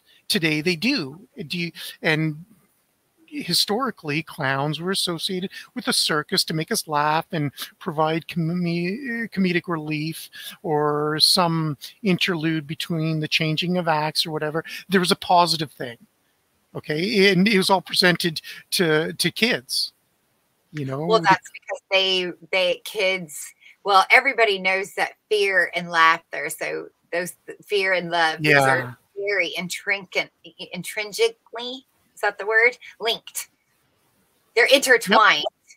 Uh, and so the fear and the sex drive again that goes into a lot of the things we're seeing today and that goes along with why adolescents really enjoy horror movies and why they're made for teenagers and young adults that's what they're geared towards because it's a coming of age it's a it's a changing of the guards in that in that you're playing along those lines of what is scary and what is sexy at the same time you know i've got a mass murderer murdering a girl in a bikini who was just a slut a minute ago. I'm confused, but yet I'm not. You know what I mean? It, it's all twisted in pain and pleasure, I guess. even to the Jesus on the cross, I'm thinking, uh, uh, you know, because after the pain, of birth, you know, after the pain comes the pleasure, the endorphins that run through when you're in a fearful situation and you're, you know, romancing the stone, if you will. And somehow after the death defying leap over the waterfall, you find each other in each other's arms and you're making out and you hated each other two seconds ago. You know, I, I really like your association between uh, the, cru- the crucifixion and the crown of thorns and giving birth, because Right. it is it, it is it is so genius and and true as a metaphor. Even if it was real even if it was a real event it, it, it's the best metaphor for resurrection.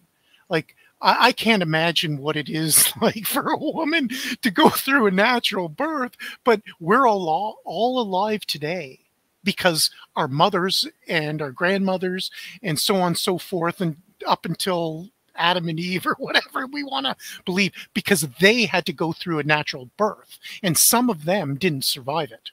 And we we men can't imagine what that's like. And so When- this metaphor is of Jesus being whipped and tortured and having to wear a crown of thorns is as close as we can get mentally to Right. recognizing and appreciating the sacrifices our mothers made, even if our mothers were bad mothers. Well, we have to look at too though, the crown of thorns is what you would see stars if your head was squeezed or that you couldn't breathe for a second. You'll see stars, and so the crown of thorns, the representation of the squeezing of the head or the moment of not being able to get oxygen. That that moment people describe when they're drowning, where a voice just comes in and says, "Breathe," and they go, "Wait a minute, I'll die. Just breathe." um, you've heard that comment being made to people who have drowned before where after be- you know after they've been resuscitated and then you have the ring of fire which is what the woman's vagina is experiencing where something just feels like a hot poker up your rear end and those two things combined create the halo or the halo ring above the christ seeing stars head Yes, and I I can sort of relate. Well, before sharing my experience, I encourage every man who's uh, about to be a father or has another kid coming on, along the way to to be there and uh, not to run away and hide in the waiting room. And I would even encourage couples to have their child born at home, and if they can't have it born at home, get a doula or a midwife to assist and, if not control, what's going on in the hospital. But every man should be there. And um, in my experience, uh, we had our second son born at home, and it's a good thing that we planned that because the labor was so quick and so short that if we had hopped into the car and drove off to the hospital, our our whelp would have been at the bottom of the would have been born in the car. It was so quick. And what I experienced is seeing the pain that their mother felt and she was clearly in a different state of mind. She was not in control of herself. She I've had, I've had natural births charming how was that like? Would you recommend it? Oh, absolutely. But it hurts like hell. I See- almost had an ambulance baby. Uh, You see, I, I, I, I like how you say that. Hurts like hell because the closest I could uh, describe, it, truly looked like she was possessed. when I talk Like, about that's how the pain looked it appeared. It was so I was so scared myself because I, I saw she was experiencing a pain that is unspeakable. I, I don't know how to, but clearly she wasn't in control of herself and needed somebody beside her. Mhm. Well, not everybody, but I, I do I do know the feeling. Uh, when I had my first, I am. Um, he, I could feel him moving when when he. I got really into my meditation, and I giggled. My midwife was giggling because I didn't make a fucking peep. But every time I'd have a contraction, I would start chewing on the straw. I had the ice water because they. I was having a. I was in the tub, and they. Didn't, I didn't want to get out, uh, so I had to couldn't get too hot. So I said ice water. So that I had ice water and I chew on the straw. And then I would get through that that moment. Then I would just relax again. And so I went into kind of a trance state, but I'm used to pain. So I already know how to deal with it. Right. And I felt I could feel him as if I was there with him, as if I was the body and the baby were one. Right was having a euphoric expression. And I remember right when he was born, when I was feeling all of that, the ring of fire and everything, I had, you know, what you could describe a out of body. I didn't float above myself, but I became one with everything around me. And I had these flashes of, of you know, every woman throughout history, eh, leading all the way back to Eve, that, you know, the first woman, whoever she is, you know, having that experience as if I was connected somehow, you know, with what it was like to be a woman, a female of the species. it was a very, you know, um, euphoric um, experience for me. And essentially, you created life. I mean, it was all, yeah, that was my that was that was what god designed me for i did it you know in a sense yeah and uh, meant uh, objectively you exacted the power of, of a god mm-hmm. you created life you did something that no machine or no other invention can do and with it I, comes a lot of responsibility that you either accept or don't. But you know, relating to Eve, the first mother, uh, and the first few stories that were given in Scripture, is that brother killed brother. Now, I can't imagine what it's like for a parent to lose a child, but what could be worse than to have one of your child kill the other? And we're not really given much of an explanation as to Eh, or at least was an intelligent understanding of why one brother killed the other brother. But if we take what we're given in the scripture, it's a bit twisted and warped. Well, why wouldn't we? If they're toddlers, if that story comes from a toddler perspective, of course, Cain and Abel, because if you had two kids born, you know, close together, you're going to have this rivalry that's naturally going to take place one brother, even the younger one. There's always going to be one that's going to be climbing on the other and these things. One that's more aggressive than the other. Opposites attract and all. So if it's a metaphor for the first siblings, why wouldn't they be in competition? So of course the story makes sense to me. well, I mean, imagine a child that's three, or uh, we'll say you know, we'll call them Irish twins, as they say. you know, a, a, a year old baby, you know, just learning about the world, starting to move, and another baby shows up. The rivalry begins instantly. I'm not getting nearly as much attention. I'm going to start acting out. I'm going to hit that baby over the head because I'm too young still to understand that that doesn't feel so nice but it doesn't have to be. You see, perhaps parents have the ability to um, guide their kids and the siblings to have fun together more so than to fight. And yeah. maybe we're given the example of all the animals in the animal kingdom, cats and dogs, and we're given the example of animals that drop a litter of you know tons of siblings all at the same time and we get to observe them play and fight and then eventually all grow up to become one tribe, and they don't. We don't expect or envision um, broods of of cats and dogs and wolves growing up and killing each other off. We don't see that in nature.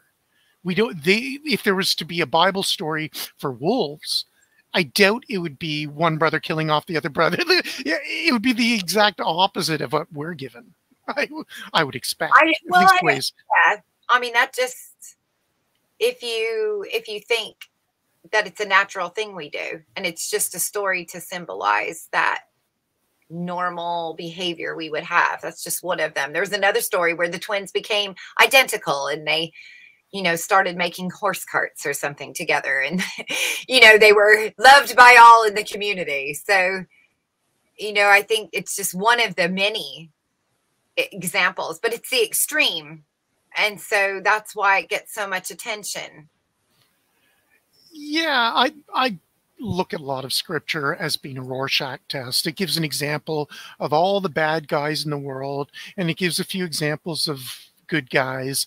And the person who reads the Bible, they can they expose their soul based on how they interpret it and whose behavior they end up modeling. Mhm. Um, I mean, And since Punks was in, extreme on here because you know you got the extreme on on the same in the same line. You just get an extreme. It's not two people from next door. These are exactly you know the black and the white. I got both here the yes, good and the bad and then the ugly. I would even dare say that uh, some prophets in our ancient scriptures are presented as seemingly good guys who may not actually be good guys. If we try to put ourselves in their shoes and ask, okay, what would I do if I was in their shoes? How would I have turned into them? How did they get there? Like, why are people listening to them? Perhaps they're not good guys. They were possibly instruments of bad guys and their eh, their their descendants rewrote stories to make them seem like they were the good guys that's just a suggestion to christians out there to be a little bit more critical in what they read and believe and what they follow along and use as examples um, but that's just my opinion on the intention behind all these scriptures. It's to give us, to essentially act as a Rorschach test to the next generation.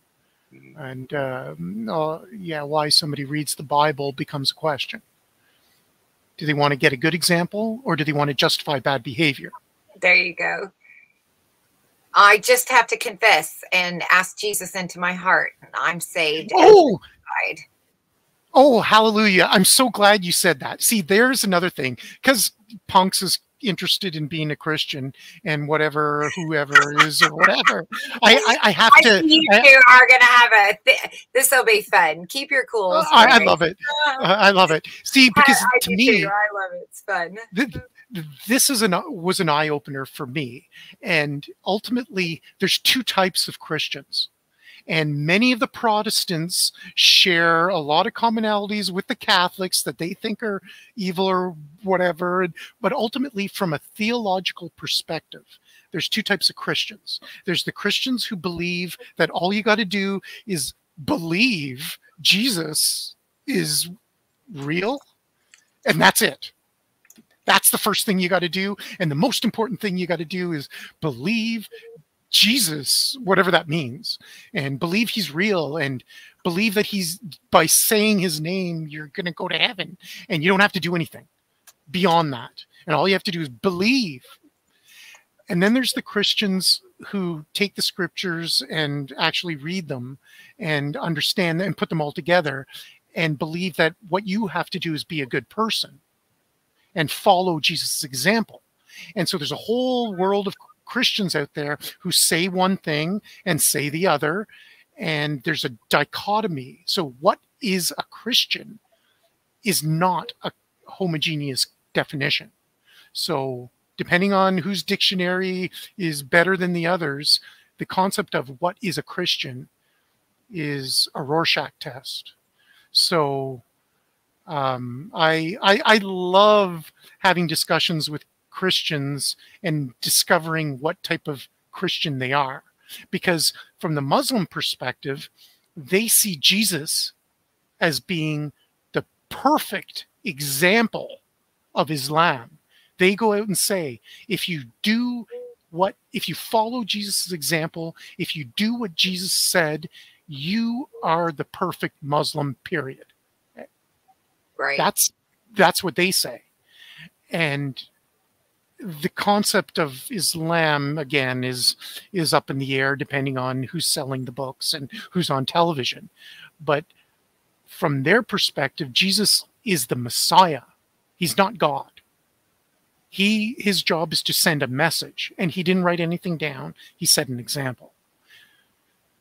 So I don't know if I'm a Christian or not, but I'd like to follow Jesus' example in some regards.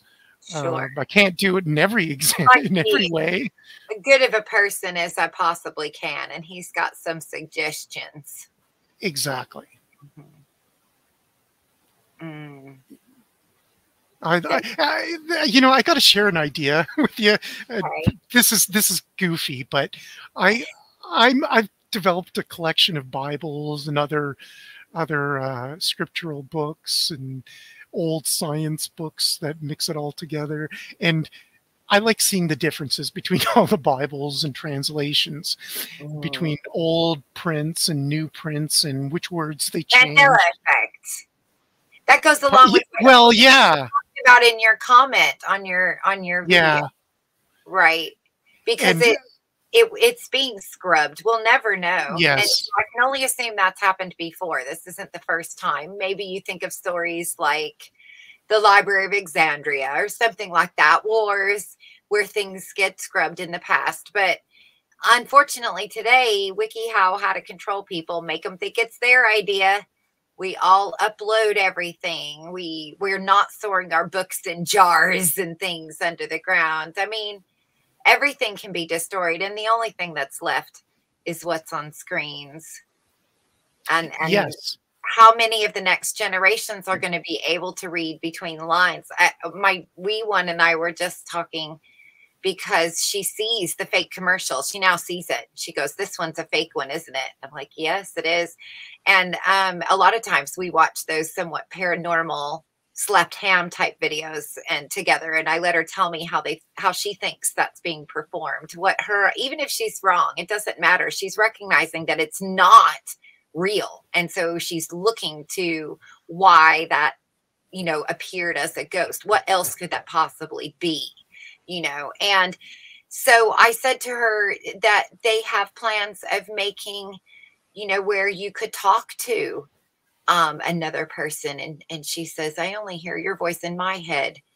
And i said that's true but one day what if they could make a computered me that would talk to you like me and tell you things like me? And she said no i, I won't listen. She and and i said why? Because i might tell you something wrong right? I might tell you to use this type of toothpaste. Yes she gets it you know I, that's the future that the, the kids have to look forward to if they're not being prepared for what's real and what's not real I believe you're absolutely right. I believe we're being pre-programmed precisely for a future whereby um, children are given flashbacks that are fake. So through, you know, recorded everything. So what you just said, I, I I believe is prophecy, and you're not using magical abilities. You're using your brain mm. you're being smart and that I, I really do believe that future generations will be given recordings that are doctored of their Yes. parents I believe And- that's the case. Yes, most definitely. They're even talking about that now. They that's not even something that they hide as a potential future. But they say that they can collect all of me when I was on the internet, my voice and my Yep. face, and they can recreate me. And so you can, and a lot of people will fall for that. A lot of people are going to be so desperate, especially in the future when there isn't anything left of anyone they're going to be so desperate to grab you know think of it from a developmental stage when when we're if we're moving out in our adolescence and we're going into the mid the young adult it's not till our middle life that we start again that third rebellion where we start to recognize man i wish my dad was still here to tell me what to do or my mom was still here to tell me what to do. And if i had the access of a dead parent as comfort i would do that. And that's the most simplest ideas right? And that's a normal human behavior, which I think they're going to capitalize on. That's what I put in the theory. I call that the nostalgic stage because every stage of development, we have a step back. We have a moment where we have a regression and we, you know, we miss. That's what high school reunions are right it's a stage that's what you know having an accident might mean for a toddler or you know going back to where the the preschool's running running around the house full of free autonomy and suddenly wants to be back held in mom's arms again, cuddled up like a baby. Um, those are just moments where that expresses itself in every single stage of our life. We have that. And I, and to me, if I was if I was a businessman and I knew that about human beings, you bet your bottom dollar I'd be investing in creating that for money or whatever the currency or currency is. Now, I I would like to share a, a dream, um, but this is just a a um, a mental experiment to to bypass. The intention is how do we bypass that that agenda of the future? So let's say if we were to jump ahead in the future, your grandkids and my grandkids, let's say they bump into each other and your kids say, yeah, yeah, my grandma was Joanie Rotten. And my kids say, yeah, my grandpa was the charming asshole. right. How would they know? Like, what could you do? What could you say or share with your kids? And what could I share or do or say with my kids to to give them that totem, much like in that Inception movie, Mm. But a, a, a, a mental totem so that they could figure out that, yes, that is the charming anarchist's grandkid, and that is Joanie Rotten's um, granddaughter. You know what I mean? Now, I don't think we should share that on the interwebs, but I would encourage I would encourage every single parent out there in the world to think along those lines. What can you transfer to your child. Now, it may not have to be a personal thing, it may simply be good parenting. Mm. That's more important than anything else. But well, okay, let's look at it from one with scale.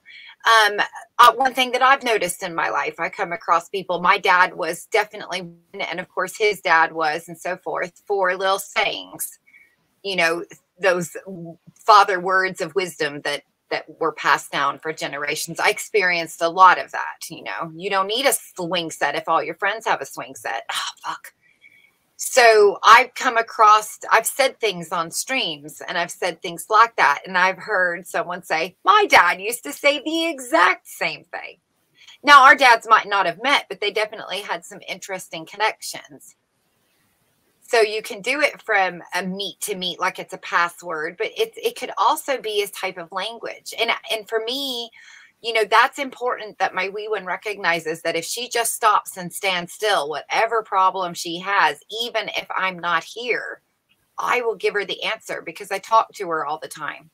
And I, you know, I I just we're just always talking and so, you know, she hears my tone and she knows the type of language I use and she knows the type of things that I would say. So, someone else came up to her later on and said, Your mother is this, or your mother said that. She can challenge that immediately. I don't think so. I don't know what you're selling me, but I don't think so because I paid a lot of attention that I think has been taken away from the families today. That's something that would have been very important.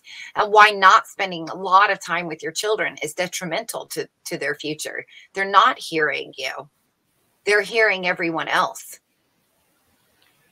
and I believe that's exactly like you said. That's part of the agenda: keeping everybody separated, keeping kids in school for hours and hours and hours, running around. nothing. Learning Yeah. something that you know a public school for part pu- um, homeschool, twenty minutes a day for an elementary school. If they can give you a twenty solid time block, you know it might take you two hours to get twenty minutes, but you can do a lot in twenty minutes. Where they'd be sitting there for six hours to get the same amount of information they could absorb in twenty minutes of uninterrupted time with you. That that's pretty interesting. And so by the time they're reaching, you know, high school and stuff, two hours is all they really need to dedicate to the average, you know, education there. And then, of course, hopefully they'll find their own interests and take that two hours and expand it further. Or they'll spend the rest of the time playing video games. Just the ability for a child to witness their parents being parents or just being adults, minding their own business, calmly living, spending time, not running around furiously doing stuff, has a lot of value. Absolutely. Learning what is a normal way of calming down at the end of the workday and chilling Mm. is something that doesn't work for the new canola agenda. well, I hope that's the case because my wee one will recognize we read every night. So reading becomes the calm down. Everything is down to the lamp and the book. And that's the last thing we do before we go to bed. So she does like to read and like to be listened, you know, read to. And um oh, so maybe that that is the good that you said. So now I'm hoping that that will be the thing she'll have comfort in, you know, just sit down and read then you know it do something else besides sit there in your head and feel bad and go research it on the internet go to betterhelp.com yeah, ultimately, the best way of teaching is to set an example Mm-hmm. of what, and you know, we, well, as parents, we can set an example of what's normal, or at least ways what's calm. Homework's not calm rock music's not calm video games aren't calm oh, Mother's oh, we all got suckered into all those things, didn't we? I know. Isn't it sad? Oh, I do. We do listen to audiobooks, but I read to her, you know, equally, if not more so. I think that's, and have her read to me. I think that's important. You know, because I don't want her stuck on audiobooks either. I don't, you know, that's nice, but that's not good either. I mean, I, You you know know, here's the thing. I'm just doing the best I can and I'm I'm I'm hoping that it's the right thing. And she and I'm well aware she could come back at 30 or whatever and say my mom was totally wrong, but she can't say she did try something different. You know what I mean?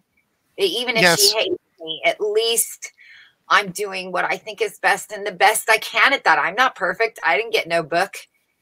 You know, I've ne- I've never been here before. This is all as new to me as it is to her and recognizing that and i'll tell her things like um, well if you if i ever do something you don't like you know like make you clean your room or eat your vegetables which she likes vegetables but you know what i mean then you're welcome to change that when you have children you do the opposite you try something else so every one of my failures just gets chalked up and that was because with my mother when i was a young girl i'd say to myself or write in my diary i will not do this i will not do that you know, I won't be this, whatever it was that I despised, whatever behavior, you know, I'm not going to act that way. I still could screw up, but it won't be that one. I ain't making that mistake again, you know? That could be a great way of setting an example. I don't want her to beat herself up for her failures either. You know, I don't like that either. You just you do what you can and you just make the next day the best day. That's all you can ask for.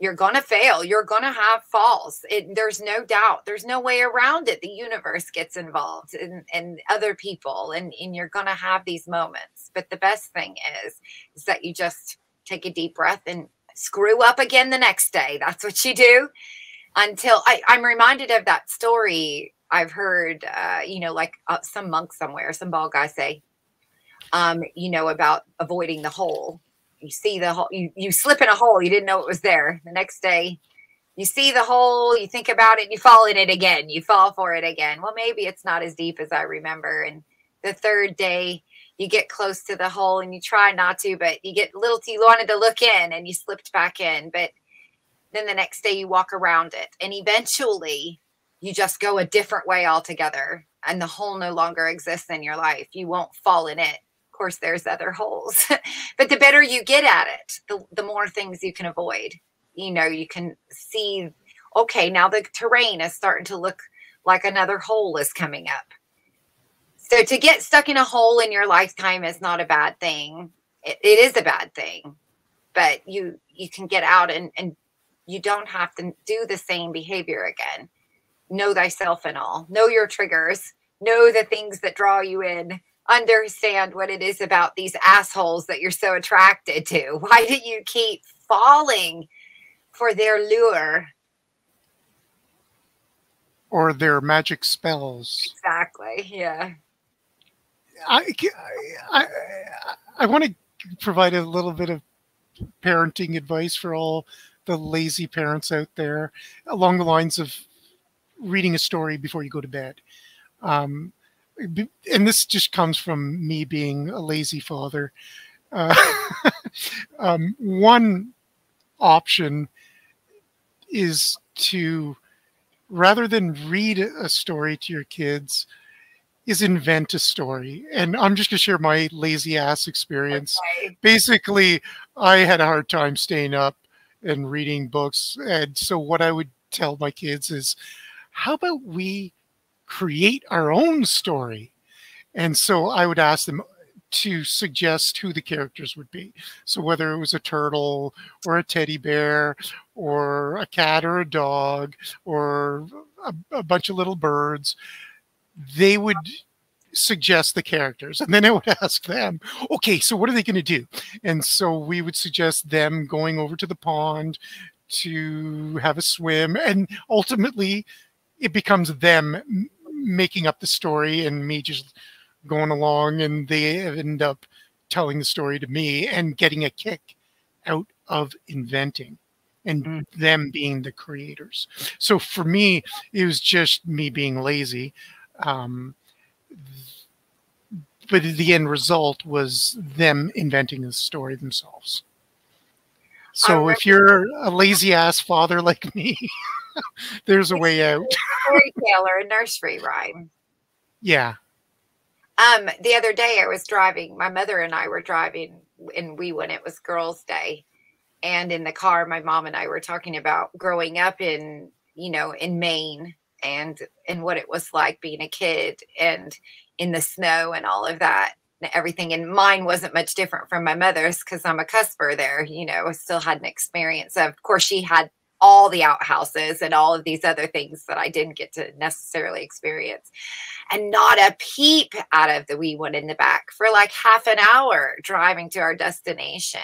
And finally my mother turned back and and said, you know, man, you have been very quiet. And she's just listening to the two of us talk about these stories. And she's thinking, I wish it was like that now, you know, us remembering these funny things that happened. And she's having these questioning the world that's around her that she's having to experience and, and telling me she wishes it was like when I was a kid, she'll say, or back when Laura was a kid. And I've noted before that it's funny when she listens to these old stories and stuff, she doesn't recognize all the chores. She's only just now saying things like, I don't know, that sounds like a lot of work, as if she's trying to find a balance between living that way and then living this way. But she was very quiet while we were talking. And I thought that was I'm very mature. It, it's as if I could read her mind as she was calculating these stories. you know, into time. And and now watching her play outside since then, you know, I'm thinking, is she recognizing that these are the stories she'll be telling her kids? I remember playing out in the woods and I remember making myself a fairy garden and painting my name on trees and, and wood and you know, these types of things. Well, she remembers sitting at the swing set with her friend giggling over something that was funny, getting lost, you know, in the woods or getting stuck in a snowplow, you know, a snowbank. You know, it's funny that you you you mentioned that. One thing I notice that's different among lots of people is how early their childhood memories go back in time and there's some people who don't have like many childhood memories or at least ways they haven't retained many and others do and some people's memory goes back to the age of three even three or four like like you said is the beginning of being able to get up and move and that's Mm. is the beginning of most memories. Most memories are around three and four years old. So most people can't remember earlier than that. Very, very few. And and I would challenge some of those beliefs anyway, some of those memories anyway.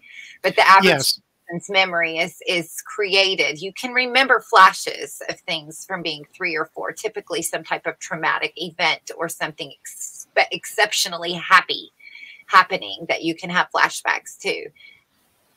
but you know, to note that as well as the time of memory movement. hmm and uh, again i i like to tie this into reincarnation. I really do believe that the purpose of a lot of these scriptures is that these clerics are trying to encode write down messages so that when they or their kids come back in a future generation will be able to decode it. Because supposedly we our memories are wiped out at birth, according to a lot of this reincarnation theology. And they want to figure out a method of retaining them. And perhaps they already did. And they're just keeping that hidden from us. I just find it interesting that there's a minority amongst Christians, Jews, Muslims, and a majority of Hindu who who recognize reincarnation as being scriptural. It's esoteric and it's not a big deal amongst popular churches, but it's in there. It's in scripture. hmm I, I again, I, I, I, I don't know what's real. I can wait. I'm happy to wait. Well, I'll tell you this I don't think there's a way to do it wrong. So I've come to that as my knowing. I don't think there's a way to, I don't think there's a secret knock or a code or a scripture that is going to be the key. So there's no way to do death wrong, is what I mean. You're going, you can't not pray enough or you can't forget to you know eat your cereal or something or or accept jesus in your heart there's there's there there is no loophole it just is and so any of all of this extra stuff that's added onto it is schemes in my opinion. It's to fear me into dying afraid. It's it's it's just there for nonsensical purposes but to make money on this physical realm i suppose. I have a theory along those lines that links Mm-hmm. all the whatever the tw- these twisted clerics, uh, whether it's Catholic or otherwise, and our twisted science and medicine of 2020 now, and all the all the worldwide lies. I I believe that all these bad guys do believe in the supernatural or that their ultimate fear is the supernatural and that what they're trying to figure out is to identify the birth of a true supernatural prophet somebody that truly does have telepathic abilities and they want to catch that person whether it is through the deception of medicine or the deception of the solar system and science or the deception of theology and spirituality. They're presenting all these deceptions because they want to find a person who knows the truth from birth I know That's this their is Earth. I am not fooled by their magical elixirs. I fall for no religion. That's when I had my, I'll say Kundalini. Um, that was what I. That's my knowing. My knowing said. My knowing said, "Don't worship anything, not even me." That's what it said.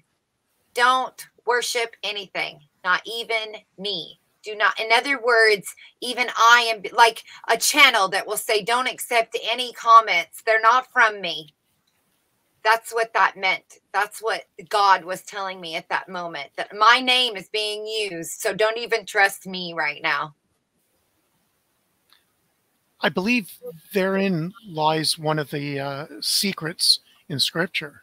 It's that there will be many people coming in my name. Don't trust any of them. That's exactly what I heard. Yeah, so you know that's what i i hear my own voice i ask my own questions everything you know i i try i listen to what people are saying of course but at the same time i i go back and i think of i meditate on it myself i, I can't just i'll try your kool-aid sure but i i, I want to swish it in my mouth a minute i might spit it back out i might not be interested in your flavor I'm way past that now because I I've come to my own either I'm not persuaded by anything which most people find somewhat annoying about me that I I'm an instant no. No. no, no, no. Whatever it is. I haven't and then I think about it. Well, hang on, let me think. Let me think if I'm if I'm okay with this. You know, that can be an annoying habit to have when you have a lot of people that want you to go along with them. it may be an, a, a natural reflex after think it is. lots of deception. Well, after a lot of deception, Do you want a cupcake? No. Well, wait a minute. Who? Where'd it come from? Who made them? you know, let me gather all the information first before I take your candy. Let me see the recipe. Right? Is this used with non-dairy? is it GMO'd? Does it have S O M S G in it?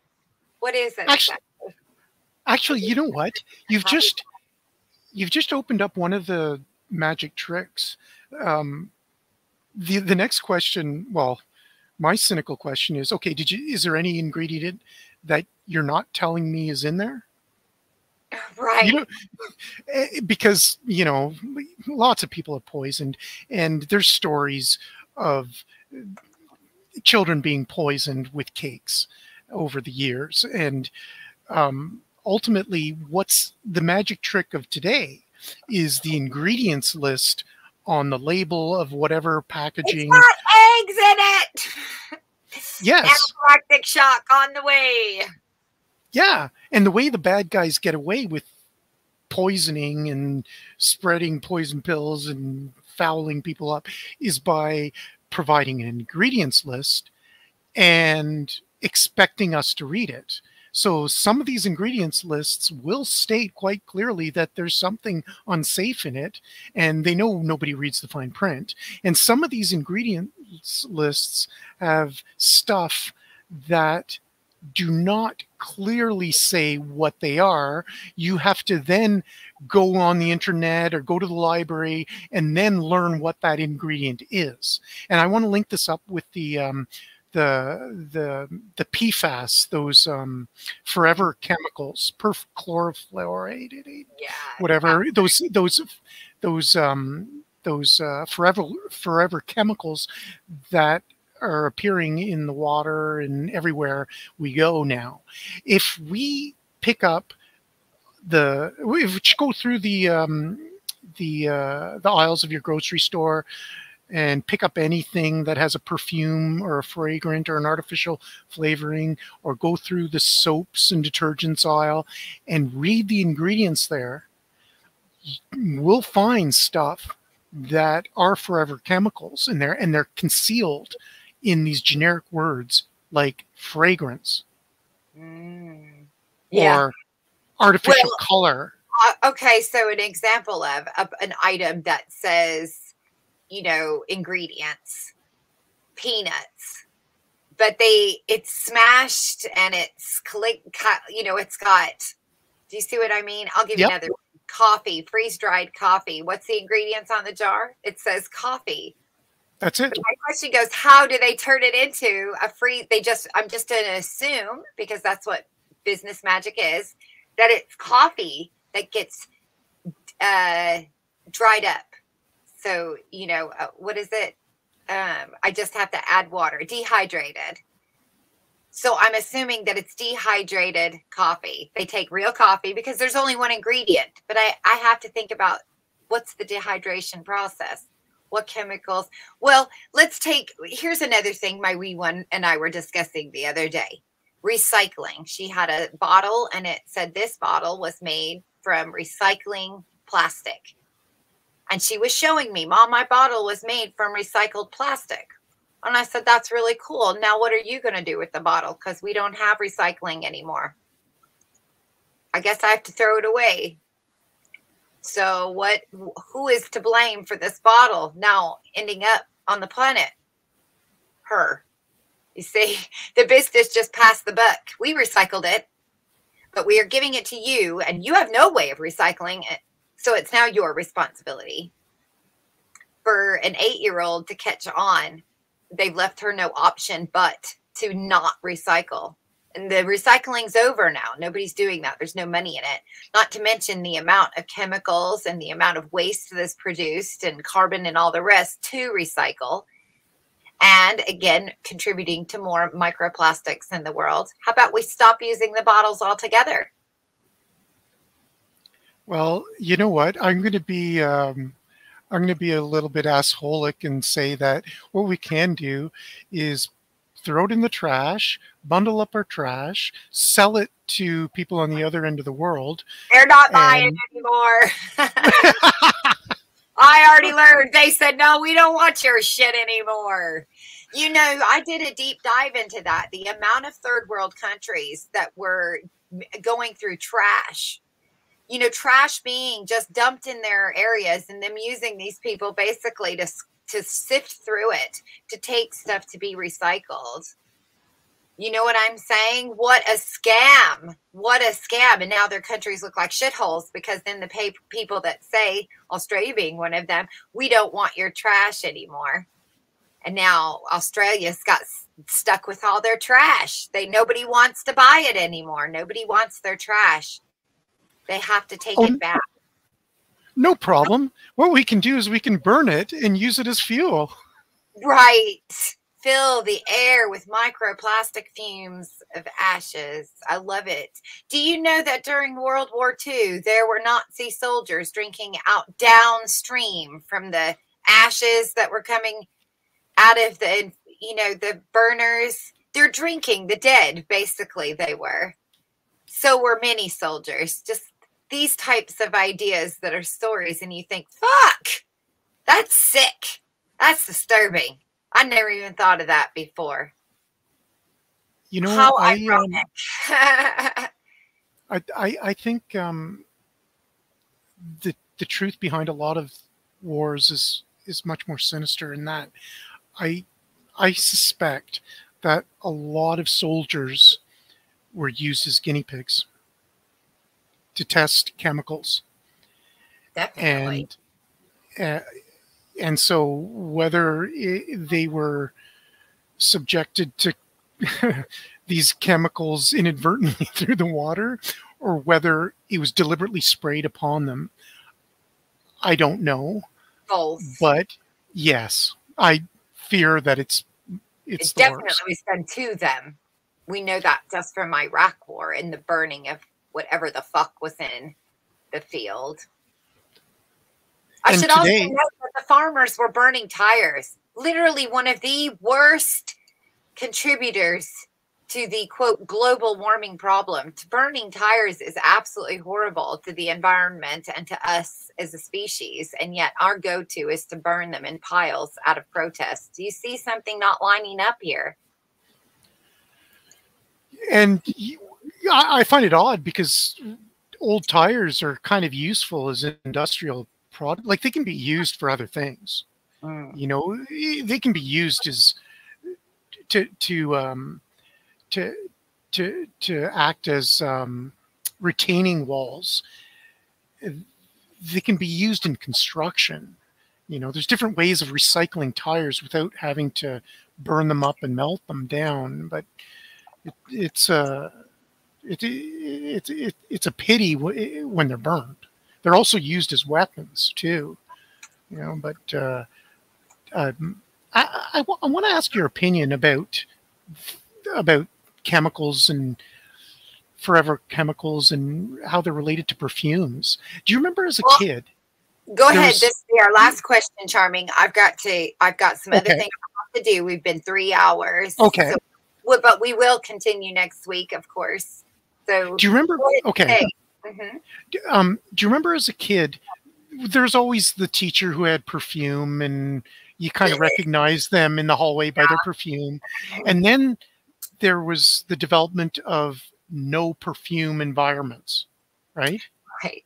because there's some people who are allergic now today do you notice perfumes everywhere in public spaces more so than ever before I I not ever before, but I have noticed more perfume wearers out in public because we had a moment where there was a bit of non-perfume and now it's very the world has become much more fragrant again. For a while it was. Remember all the candle stores and the you know dried flower crispy stores Yep. and now that disappeared for a while because they stunk up the mall, but they're back. It's back yeah making its way. Very interesting. The world's becoming very fragrant again. I, yeah i fear um, there's going to be a lot of people who are poisoning themselves Very fair. Because- Talcum powder and all. Just Yeah. another example. Walk through it. Close your eyes. Spray in the air. Walk through it. I poisoned myself with incense. That's my That's different. choice. Uh, right. Exactly what I think. See, that's a different thing. A dollar, some dollar incense sticks from the dollar store, made in India or China. Uh, That's how I prefer to poison myself in my air. you, Me too. but that's okay. I'm okay with it. Pick your poisons. Yeah, I have noticed being out, go to the store, and you can, people are very, very fragrant. It, you can smell it a couple aisles over at times. You're like, oh God. you know, the Avon lady has is back.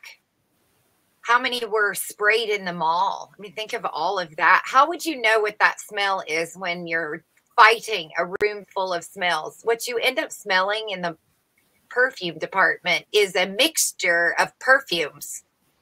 It's not going to smell like that when you get home. How would you know they're safe?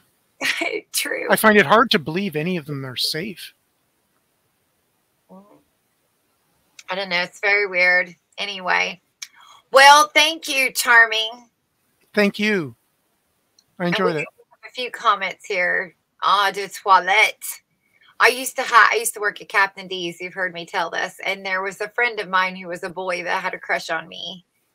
And I showed up to a, a gathering one time after working a long shift, and he says, "You smell so good. What are you wearing?" and I said, "Oh no," I said, "Yeah, uh, toilette de shrimp." It is the fragrance of, of seafood, is what I smell like. Fries and fish. I'm fish and chips. He must have liked the smell anyway. Funny. I mean, you just reek of fish after leaving there. There's no, you would have to shower or you just go with it. I just went with it. Everybody knows where I work. you know, I don't want to be late. I'll shower there. Maybe someone can join me. Um, we're going skinny dipping anyway, right? Indian blankets made in India. Um, so yes, I appreciate that. Punks, you're welcome to join me. I don't want to have a bash the charming stream though. That won't be any fun for me. So that's fine. I'd enjoy it. well, I wouldn't. I would be. I'll let the two of you have. I would totally just let the two of you have a discussion if you if you could. Keep Oh, yeah? civil. Oh absolutely. yeah. Um, Oh, I, that sounds like fun. Okay, well, that's open to you too. But if you wanted to come up and talk to me, punks, I would prefer we talk about the topics, but then give our own. I'd love to hear your interpretation. Now, I'm totally down for that, but I so wouldn't mind watching the two of you have it out. I'm down. Oh, that sounds like a riot. Oh, that'd be great. So long as you're there to keep us in line. I like would have got- to be the referee. I'll dish out Yeah. Or, or, or we could have a great big gong and you'd like the gong show. I'm sure I can find something here. I've got one of these things on my desk. Hang on. Um, let's see. What's it got? No, that's not a good whistle. Hang on. There we go. An air horn. so Sounds like a party. um you guys work out a date and time and and then I'll I'll host it for you. Um Oh, we'll I talk about great stuff. I can't wait. I'm sure we'll probably have more people here than ever before. Um, but I yes, so I've got I'm gonna go get plants today for our beautiful soil. So that's what I'm gonna be off to. Amen. I was planning on doing some gardening too. Oh, Yes, oh, so all right. everybody do some gardening. We'll see if we catch each other later today, depending on how our days go. All right. Excellent. Thanks, Charming. Okay, thank you. You take care, and thanks a lot to the rest of the chatter gang. Excellent. And uh, if anything, we'll definitely see each other next Sunday morning. All right. Okay, you take care. I'll. right. Uh, I, I look forward to the bounce out. I I really dig the uh, the Oh, roller skating. We'll do it. We'll bounce out then. It's been requested. So thanks, chat, for coming. Much love. I'll throw the goodbyes up on the screen as we're bouncing out. Okay, adios.